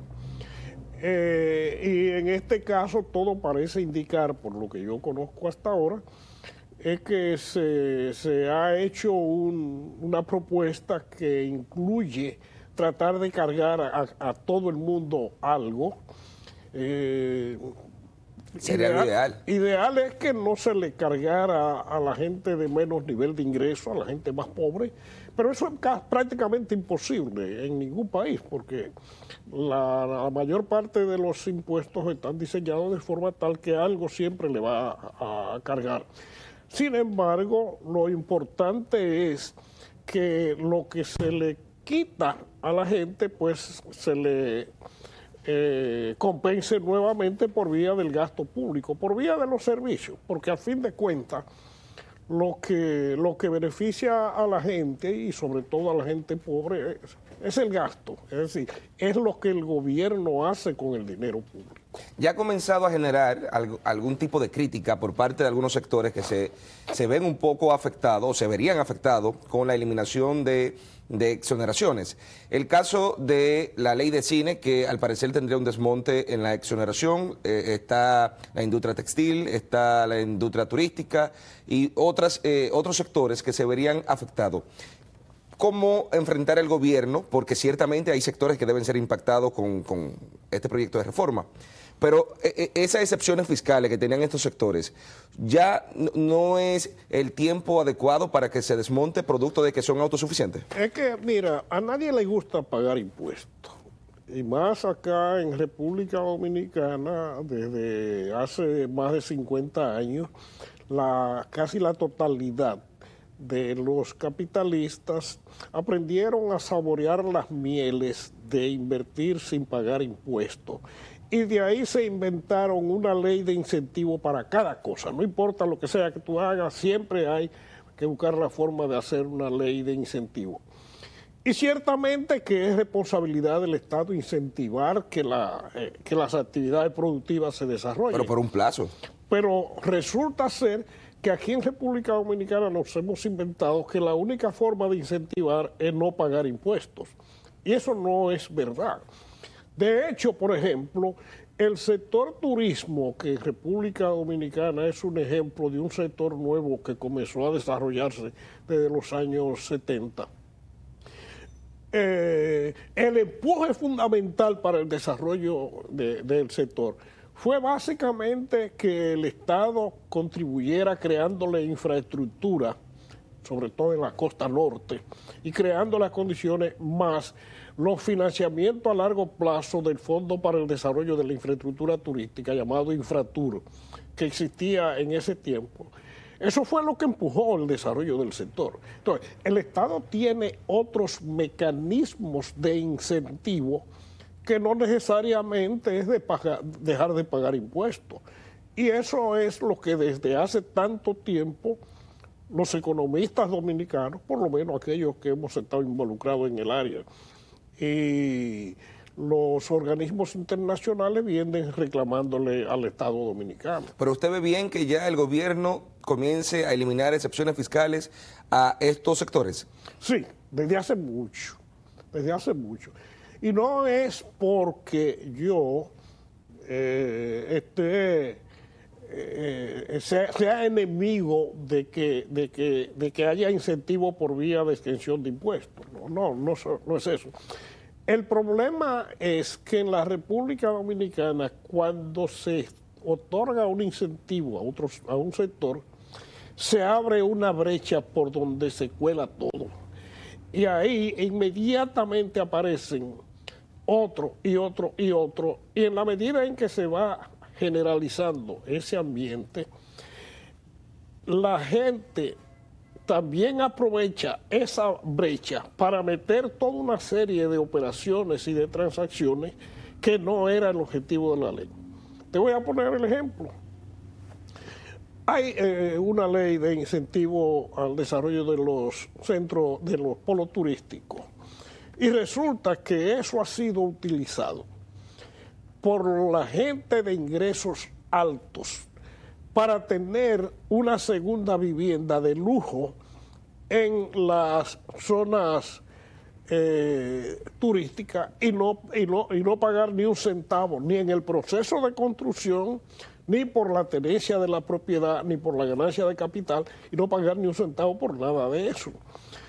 Al final, eso quien, a quien le cuesta dinero es al ciudadano dominicano que está dejando de percibir los servicios que el Estado tendría que estarle dando con esos servicios. Yo siento que la reforma fiscal presentada ayer tiene un matiz o, está muy enfocada en enfrentar la evasión y la ilusión fiscal. Pero ayer el ministro no detalló la forma en que iba a ser enfrentado. Sí señaló de que la Dirección General de Aduanas y de Impuestos Internos iba a desplegar toda una estrategia para enfrentar ambos, ambos crímenes, como él señaló, que eran crímenes contra el Estado. ¿Qué debe hacer el gobierno o qué debe contemplar esta reforma fiscal para atacar esos dos elementos, evasión e ilusión fiscal? Mira, yo no te puedo contestar a ciencia cierta porque yo lo que soy es economista y el trabajo de los economistas no es la parte de la administración de impuestos, eso corresponde a los administradores de impuestos. Ahora, lo que conocemos los economistas es que los mecanismos por excelencia utilizados para evadir el pago de impuestos son las exenciones, porque cuando se da una exención, el evasor aprovecha la brecha que se abre para por ahí meter muchísimas otras transacciones. Te voy, a decir, eh, cuando se estableció el ITEVIS la primera vez en República Dominicana, se estableció como un impuesto, eh, se llamaba ITEVI sin S. Ahora se llamará IVA.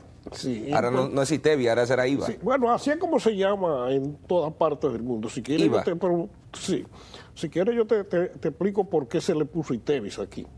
Lo que pasa es que el primer eh, presidente que propuso la creación de un IVA con una tasa muy modesta, no recuerdo, creo que era 2% o 4%, fue el presidente Antonio Guzmán, pero el, que presidía el Senado en ese tiempo, el que lideraba el Senado en ese tiempo, era Salvador Jorge Blanco, que era enemigo acérrimo de Antonio Guzmán. Y trataron de tumbarle el proyecto de ley y efectivamente lo tumbaron. Pero ¿qué pasa? Que poco tiempo después le toca a Salvador Jorge Blanco ser él el presidente y volvió a someter el proyecto de ley porque era una necesidad. Ahora, prefirió tratar de cambiarle el nombre y no ponerle como se llama en todos los países, que es impuesto al valor agregado. Y se le puso impuesto a la transferencia de bienes industrializados. Eh, así se conoce en República Dominicana eh, se mantuvo ese nombre todo el tiempo, a pesar de que en el mundo entero ese impuesto se, se le llama impuesto al valor agregado. Porque cada impuesto normalmente son, son cuestiones genéricas, así como el impuesto sobre la renta tiene su nombre en todos los países, pues el IVA es así en todos los países. Lo que quería decir con eso, con esto, es que cuando se estableció no incluía prácticamente a muchísimos productos considerados de primera necesidad, inmediatamente todo el que tenía un negocio de vender ropa o de vender zapatos o de vender eh, bebidas o de vender cualquier cosa que pagara impuesto, instaló una tienda donde al lado le puso una tramería para vender arroz, aceite, jabón de lavar y cosas de ese tipo. Eh, a, partir de ahí, cada vez que presentaba la declaración ante la dirección de impuestos de lo que había vendido, ponía que todo lo que vendió era esos productos exentos y nada de lo que estaba grabado con el impuesto. Eh, ¿Por qué razón? Porque cuando se cobra el impuesto a algunas cosas y se dejan otras, el evasor inmediatamente se da cuenta de que la vía para engañar al fisco, que es engañarnos a todos, es crimen de Estado, decía el ministro ayer. Eh, Un crimen de Estado. Sí, eh, es disfrazar las ventas del que está grabado. Eh, hay dos puntos que yo creo que tienen un impacto directo entre el ciudadano común. Y es que ya las casas, eh, el impuesto IPI, ya no será a, casas con, de un monto de 8 a 9 millones de pesos, sino será eh, de casas de 5 millones. Y también el tema del pago del marbete, que vemos que hay una tabla rasa de un aumento de 1.500 a 3.000 pesos y 6.000 pesos. No, no, sería un poco factible de que partiendo de la marca y el año del vehículo se cobre este impuesto y no generar una tabla rasa a, toda persona que tenga vehículo? Mira, ahí yo estoy eh, en desacuerdo con la forma como se hizo, porque de hecho ni siquiera había que hacer, lo que había que aprobar es aplicar una ley que está aprobada desde 2012, que lo que hace es que establece que ese impuesto sea ad valorem. ¿Qué significa ad valorem? que sea sobre el valor del vehículo. Cuanto más vale el vehículo, más tiene que pagar. Eh, en, el, 2012 se aprobó que sea el 1% del valor del vehículo. Eh, de modo que si tú eh, pagas, si tú tienes un vehículo que vale 5 millones, pues tú tienes que pagar 50 mil. Si tú tienes un vehículo que vale un millón, tú pagas 10 mil y así por el estilo. Pero no se aplicó esa ley. Lo ideal es que fuera así. Ahora, dado que eso nunca se aplicó, bueno, pues por lo menos que, que, ponga... Creo que lo que se pretende con esto es, entendiendo que el más nuevo vale más, eh, aplicarse lo más alto al más nuevo, pero sin atender al valor del vehículo. Y eso es un error, porque eh, eh, la eh, administración tributaria sabe cuánto vale cada Hay características, y, paso a explicar. Usted puede tener un vehículo del 2018 de X marca y puede tener otro vehículo del 2018 de X marca y el valor es distinto. El valor es distinto. Porque la marca influye. El valor, bueno, el año influye, pero hay otras cosas que influyen No es lo mismo un Toyota que una, Mercedes. Una marca, claro, tú puedes tener un vehículo de lujo de 2018 que cueste, eh, que tenga un valor superior a uno del 2024. Así es. Nuevo. Así es. Con relación al impuesto IPI, que vemos que eh, baja eh, el punto de partida. Mira, ese es un impuesto que va a afectar un poco a la clase media. No es gran cosa porque el impuesto es bajo, es muy, bajo, pero que sí va a poner a pagar gente que antes no pagaba. Eh, aquí en República Dominicana, el impuesto a la propiedad está diseñado como un impuesto a la vivienda suntuaria. Es decir, que fue concebido nada más para grabar a la vivienda de los ricos. En eso no es normal en el mundo. En el mundo es la idea es que sea a la propiedad y, que fuera a la propiedad en general, no a la vivienda, sino toda la propiedad que pueda tener. Ahora, eh, se suele dejar exenta la vivienda de la gente más modesta, de los recursos más modestos. Y normalmente eso lo saben los municipios, porque casi siempre quien cobra esos impuestos son los municipios, eso es lo normal en el mundo, ¿no? Ellos conocen la gente, saben a quién corresponde y quién no. Eh, bueno, pues eh, aquí se, se, dejó para se, se, se, dejó un nivel muy alto que no solo incluye gente pobre, sino clase media, exento del pago del impuesto y ahora pues la idea es que se, se va a abarcar a un poco más de. ¿Eso sí tiene un impacto en una clase media? Sí, sí, tiene impacto en la clase media. Con relación al anticipo... No es mucho porque... ¿Cuál, cuál, cuánto, cuál, cuál es el costo de este impuesto? Porque es anual. Es anual, yo creo, yo no recuerdo, pero creo que es en el 1% del valor que exceda sobre el monto exento. Por ejemplo, si es a partir de los eh, de, de, los 5 millones, para poner un ejemplo, sí. y tú tienes una casa que vale 6, entonces sería el 1% de un millón, porque es el excedente de 5 millones. Okay. En campaña, todos los candidatos o los principales candidatos tomaron como discurso el desmonte del el anticipo. Y vemos que esta reforma fiscal contempla un desmonte del anticipo. Primero, las personas físicas no pagarían y las micro, pero hay un desmonte sí en las pequeñas, medianas y se mantiene en las grandes empresas. ¿Su interpretación a esto o debió ser total la eliminación del anticipo? Mira, eh, el tema del anticipo, que es una figura extremadamente odiosa y complicada. Principalmente para, para los pequeños. Para, para, el que tiene que hacerlo, en general sí para los pequeños, porque le involucra un costo eh, que no deberían tener.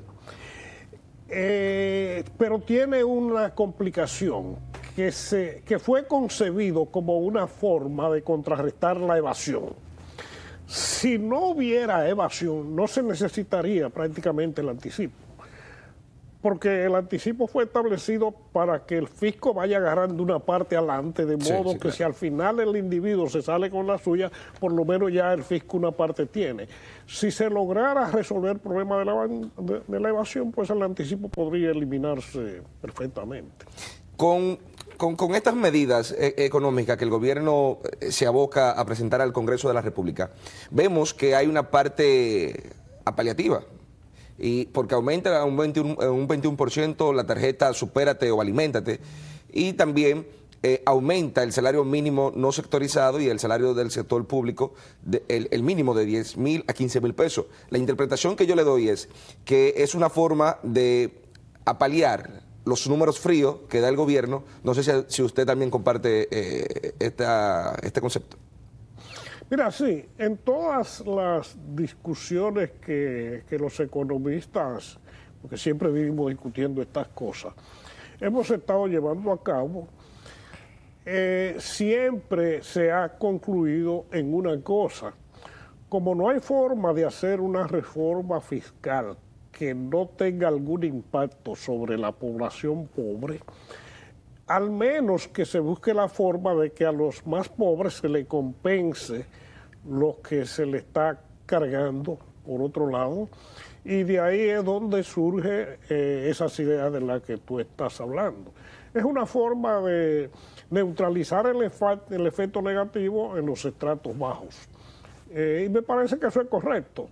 Ahora, yo vuelvo a insistir, eh, el beneficio para la población, y, y, eso ya no se refiere nada más que a la gente pobre, sino a la clase media en general, es que el Estado mejore los servicios que provee, servicios de agua, servicios de, transporte, de infraestructura, de, salud, de, educación, de medio ambiente. Ese es el verdadero impacto. Hay, hay un elemento, eh, eh, Isidoro, y es qué hacer también con los sectores que ya han comenzado a pronunciarse. Por ejemplo, la Asociación de Roneros está en contra de que se aumente eh, el impuesto a, este sector pero también el CONEP se alista a presentar eh, su, informe en cuanto a la, reforma presentada. Y eh, Ángel también y otros sectores comienzan a afilar de cara a presentar su posición en torno a este proyecto. Todos los sectores se van a oponer, eso es así. Lo que pasa es que el asunto, el arte de gobernar no es lo mismo que el arte de complacer peticiones, no. Gobernar es otra cosa es tomar las decisiones que se necesitan aún a sabienda de que algún callo hay que pisar. Y siempre va a ser así. Eh, lamentablemente el problema dominicano es que hacer las reformas resulta tan difícil porque los gobiernos creen que su función es estar complaciendo a todo el mundo. No es así, lamentablemente. Bueno, muchísimas gracias, don Isidoro, por sus sabios eh, planteamientos en torno a esta reforma fiscal que, dicho sea de paso, hoy estaría siendo presentada ante el Congreso de la República. Eh, hay muchas expectativas y se espera mucho movimiento en torno a ella y debates que deben darse de cara a tener algo consensuado, porque también todos los sectores deben de ser escuchados. Bueno, bueno, pues para mí placer. Bueno, nosotros seguimos con más de AN7 Amanecer luego de esta pausa comercial.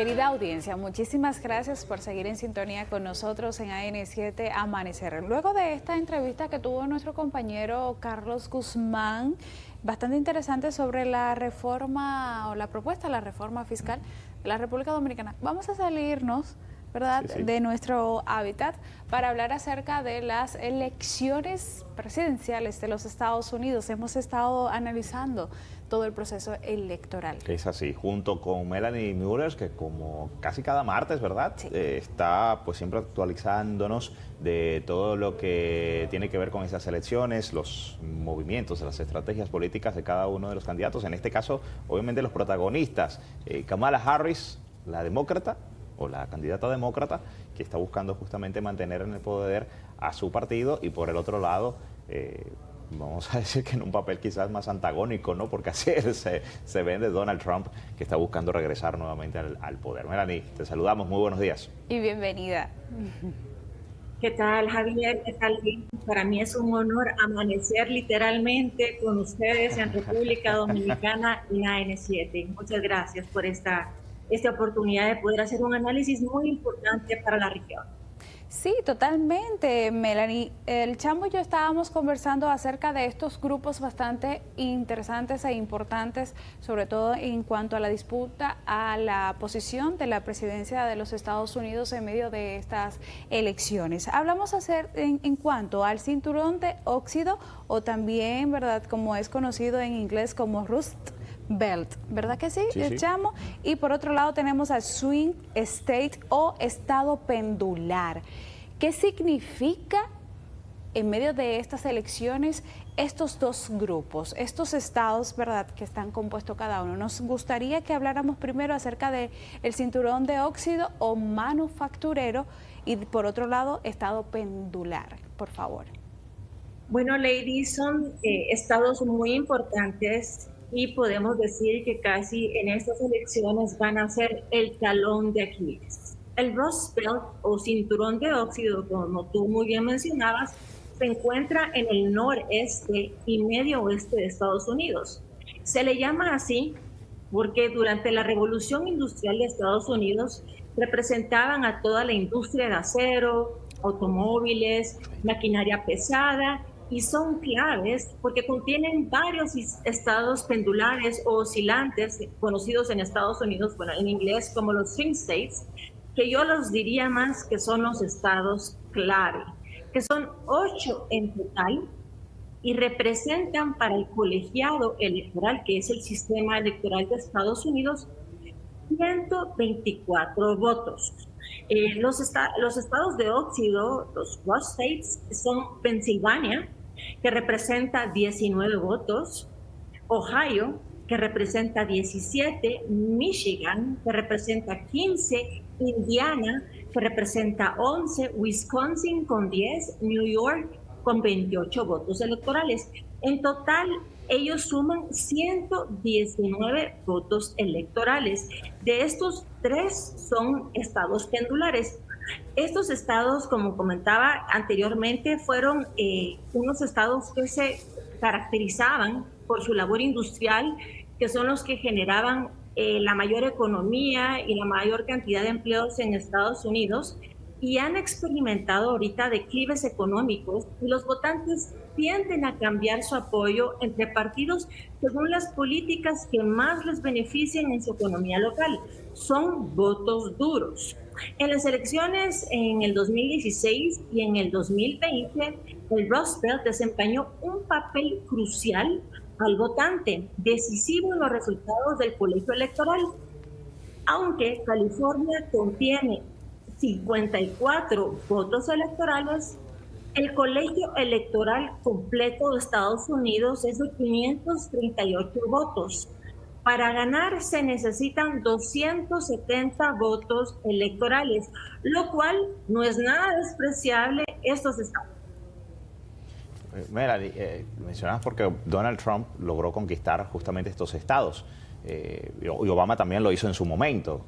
Donald Trump, me parece que en el 2016. Sí, en el 2016 y, en el 2012. Votos en el 2020. En el 2020 los termina, los termina perdiendo. O sea que si juegan un papel importante. Ahora, ¿para qué lado están bailando en, la actualidad, o, por lo menos en un, en, un mínimo porcentaje, porque obviamente no tienen quizás un candidato tan claro, pero siempre tienen uno que quizás está por encima, eh, por encima del otro. Y agregarle también a, tu pregunta, Chamo, por el hecho también de que vimos como Joe Biden en 2020, ¿verdad? Como que logró eh, eh, captar la atención y estos votos por cada uno de, de, estos grupos importantes o estos estados importantes. Ahora cambiando el panorama en cuanto a que en un principio era Joe Biden y ahora es Kamala Harris.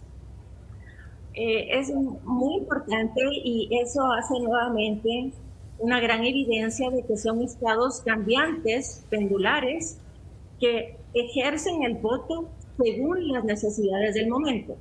En el 2016, Trump apeló a las preocupaciones económicas de los votantes del Rust Belt, prometiendo revitalizar la industria manufacturera y proteger empleos, que es algo que va muy de cerca con lo que tiene en su estrategia de tener a Elon Musk ahora adentro de su estrategia electoral.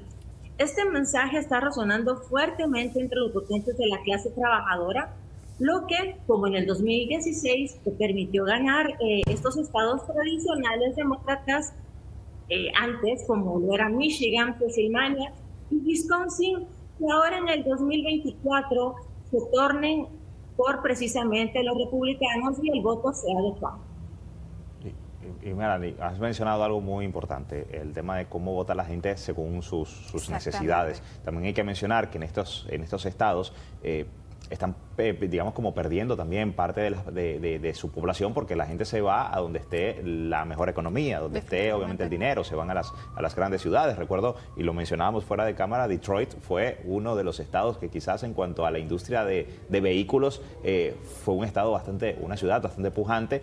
Eh, hoy en día ya no lo es, eh, porque bueno, hay otras, hay otras tecnologías. ¿Cuáles son las necesidades o, qué pudieran estar buscando estos, estos estados en general? ¿no? Una ciudad, eh, eh, digamos, en solitario, pero en estas elecciones del 2024, ¿cuáles serían esas necesidades que, buscarían obviamente encantar eh, Kamala Harris y Donald Trump? Bueno, en definitivamente la desventaja que actualmente tiene Kamala Harris es que ella se encuentra actualmente en el poder con Joe Biden y las preocupaciones son latentes y las tres principales preocupaciones es la inflación, la inmigración y la economía.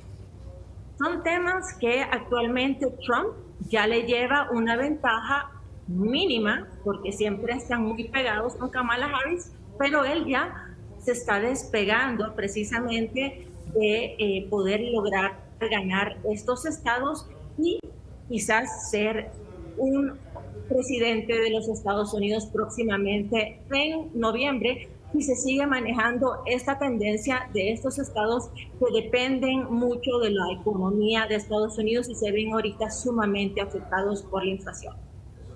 ¿Cuáles son esas estrategias, Melanie, que están realizando tanto Donald Trump como Kamala Harris para poder enamorar, encantar a cada uno de estos estados que aún no se han decidido por un candidato en específico?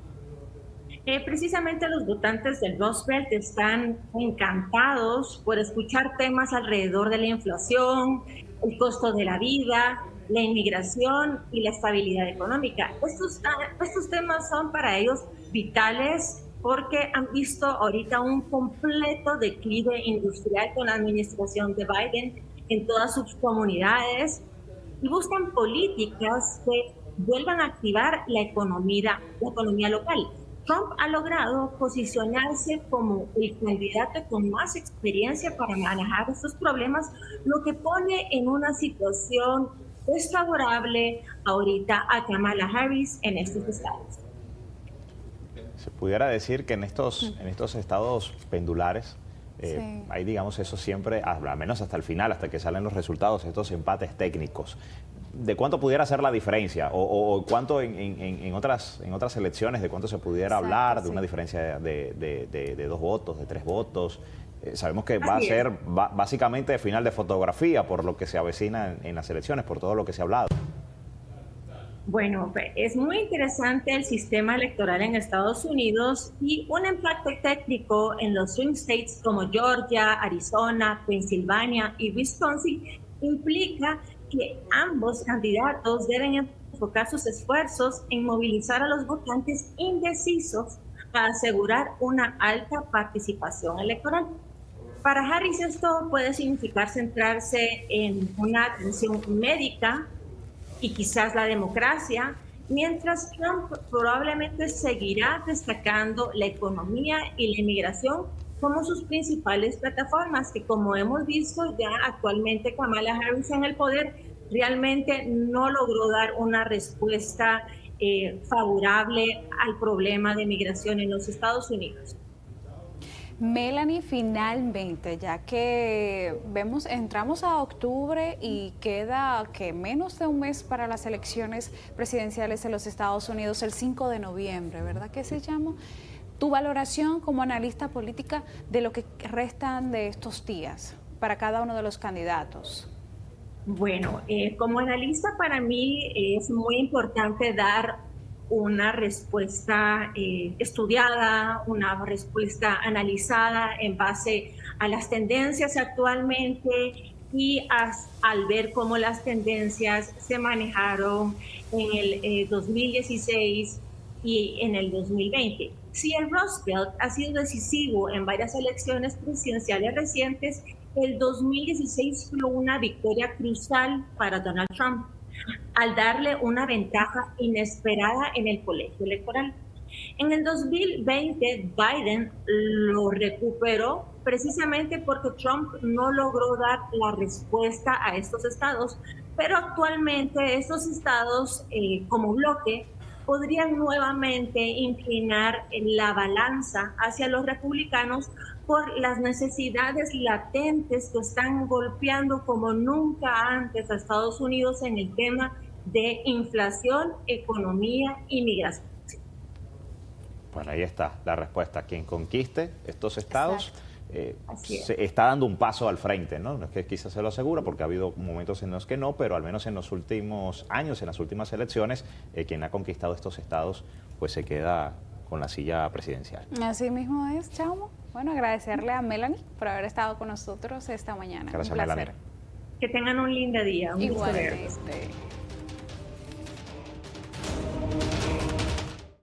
Esta es la mansión Sadoglo. Para otros este lugar podría ser un palacio, pero para mí es una prisión. Solo espero un milagro. Ella pidió un milagro. Y el milagro llegará. Reyyan Sadoglu. Pero también llegarán eventos desafortunados Al fin cobraremos venganza. que cambiarán la vida de muchos para siempre. O tú me matas a mí, o yo a ti. Erkai. De lunes a viernes, a las 2 de la tarde, por Antena 7. Que nunca te falte, ay no, Maggi gallinita. Que nunca te falte tu Maggi gallinita, la sopita en polvo con el mejor sabor. Tú y Maggi, el secreto del sabor dominicano. Hermano, pensamos lo mismo. Fiesta loca de fuegos artificiales. Para los niños, que son la luz de nuestros hogares, tenemos la mejor programación del fin de semana. ¡Es grandioso! Los muñequitos. Me encanta. El sábado arrancamos con excelentes animados desde las 6 de la mañana y seguimos hasta las 9 y media. Los sábados están para esto. Y los domingos no nos quedamos cortos, porque comenzamos también desde bien tempranito, a las 6 y media de la mañana, y no paramos hasta las 10. Es totalmente increíble. No dejen de verlos por Antena 7. Soy Zuleija. Siempre anhelé que llegara el momento de casarme con Gilmas. Este amor que nace fértil, pronto se verá malogrado. Y ellos tendrán que luchar por su felicidad contra un poder que no tiene límites. Quiero mucho a Zuleija. Quiero estar con ella.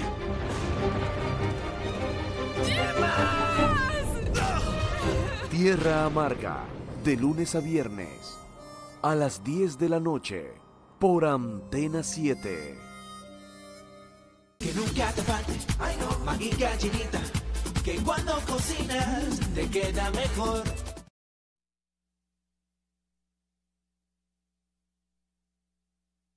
Gracias por la permanencia de su sintonía. Vamos a conocer parte de lo acontecido desde la región norte de la República Dominicana con un resumen por parte de nuestro compañero Rafael Martínez. Hola, ¿qué tal? Tempranito en la mañana presento el resumen de las noticias más importantes de Santiago y la región norte del país en este AN7 al amanecer. La Procuraduría General de la República solicitará la extradición a los Estados Unidos al nombrado Francisco Alberto López, acusado de tráfico de fentanilo. Fue trasladado hacia la Suprema Corte de Justicia en Santo Domingo el nombrado Francisco Alberto López Reyes, imputado por lavado de activos y tráfico de fentanilo, el que será extraditado a los Estados Unidos. El magistrado Andrés Mena de la Dirección General de Persecución estableció que ejecutó una orden de arresto emitida por la Suprema Corte de Justicia contra López Reyes con fines de extradición. Ese proceso de extradición está relacionado a siete cargos existentes en los Estados Unidos por delitos graves, delitos penales relacionados con drogas sintéticas. ¿Se va a hacer aquí o en Santo Domingo? En Santo Domingo, en la Suprema Corte de Justicia. ¿Cuándo A fue trasladado el, el, el imputado? partir de este momento. Unidades de socorro de la provincia de Puerto Plata rescataron el cuerpo sin vida de un joven que murió ahogado en las aguas de Playa Cabarete. Se trata del nombrado Emanuel Sánchez, de 22 años, quien era agente de la Policía Nacional, nativo de La Vega.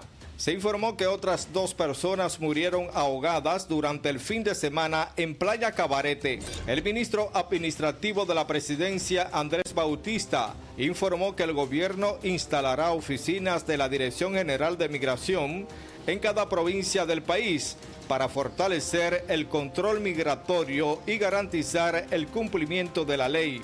y el director de, migración, el nuevo director, anunció que en cada provincia se va a poner una oficina de migración para tener mayor control, mayor orden y que no se den algunas anomalías que realmente se han dado en muchos pueblos por falta de, un, de una oficina que sea la responsable. El funcionario recibió una placa de reconocimiento por parte del comité organizador del torneo de baloncesto superior que se celebra en Moca. Comunitarios de Ojo de Agua, cruce de Vallacanes, Distrito Municipal Maizal, provincia Valverde, salieron en defensa del joven Brian García Sánchez, acusado por su compañera sentimental de violencia de género. El alcalde es testigo de que todavía aquí no se ha llegado a una cita sobre ese muchacho de que eh, los vayan a detener, porque tienen que tener una prueba contundente de que él también la haya puesto a la mano. Un diagnóstico médico, una prueba, porque ahora mismo se habla con pruebas, que ellos tienen que tener una foto, un video, algo por el estilo, es dándole, porque cualquiera de boca puede decir fulano mató a fulano, pero si, si usted no ha visto nada, usted no puede decir nada. Yo tengo un video donde ella le manda al muchacho que está detenido que la vaya a buscar, que por donde ella está no pasa nadie y ella está quedada. Que eso pasó el día que fuimos al río, que fue el domingo, donde su papá le dio golpe delante de donde estaba la policía, que tampoco hicieron caso y se fueron. Y aquí la remató a golpe también después que llegamos. Mire cuántas cédulas tenemos de las personas más viejas y más serias de aquí. Mírenlas aquí. Esas son pruebas de que el muchacho que está detenido allí no es un delincuente. Queremos que las autoridades to tomen cartas del asunto y nosotros iremos a la fiscalía cuando nos llamen el, la población de donde él vive. Tiene niños especiales que tiene que mantenerlo. Los días que él tiene preso y huyendo, eso tienen esos niños pasando hambre. Nosotros, los del pueblo de él, queremos que se haga un llamado a la autoridad de Mao que aclarezquemos las cosas de la mejor parte que ustedes entiendan. Esto, ese muchacho no tiene, no tiene problema con eso. eso. Esos problemas que lo busquen por el papá de esa muchacha. Porque dice que medio sinvergüencita y ella es media rastrerita, son dos cosas que no sirven ninguno de los dos. Que busquen eso por ese lado que ese muchacho lo nulen. La información desde el municipio de Mao la suministró el corresponsal Andrés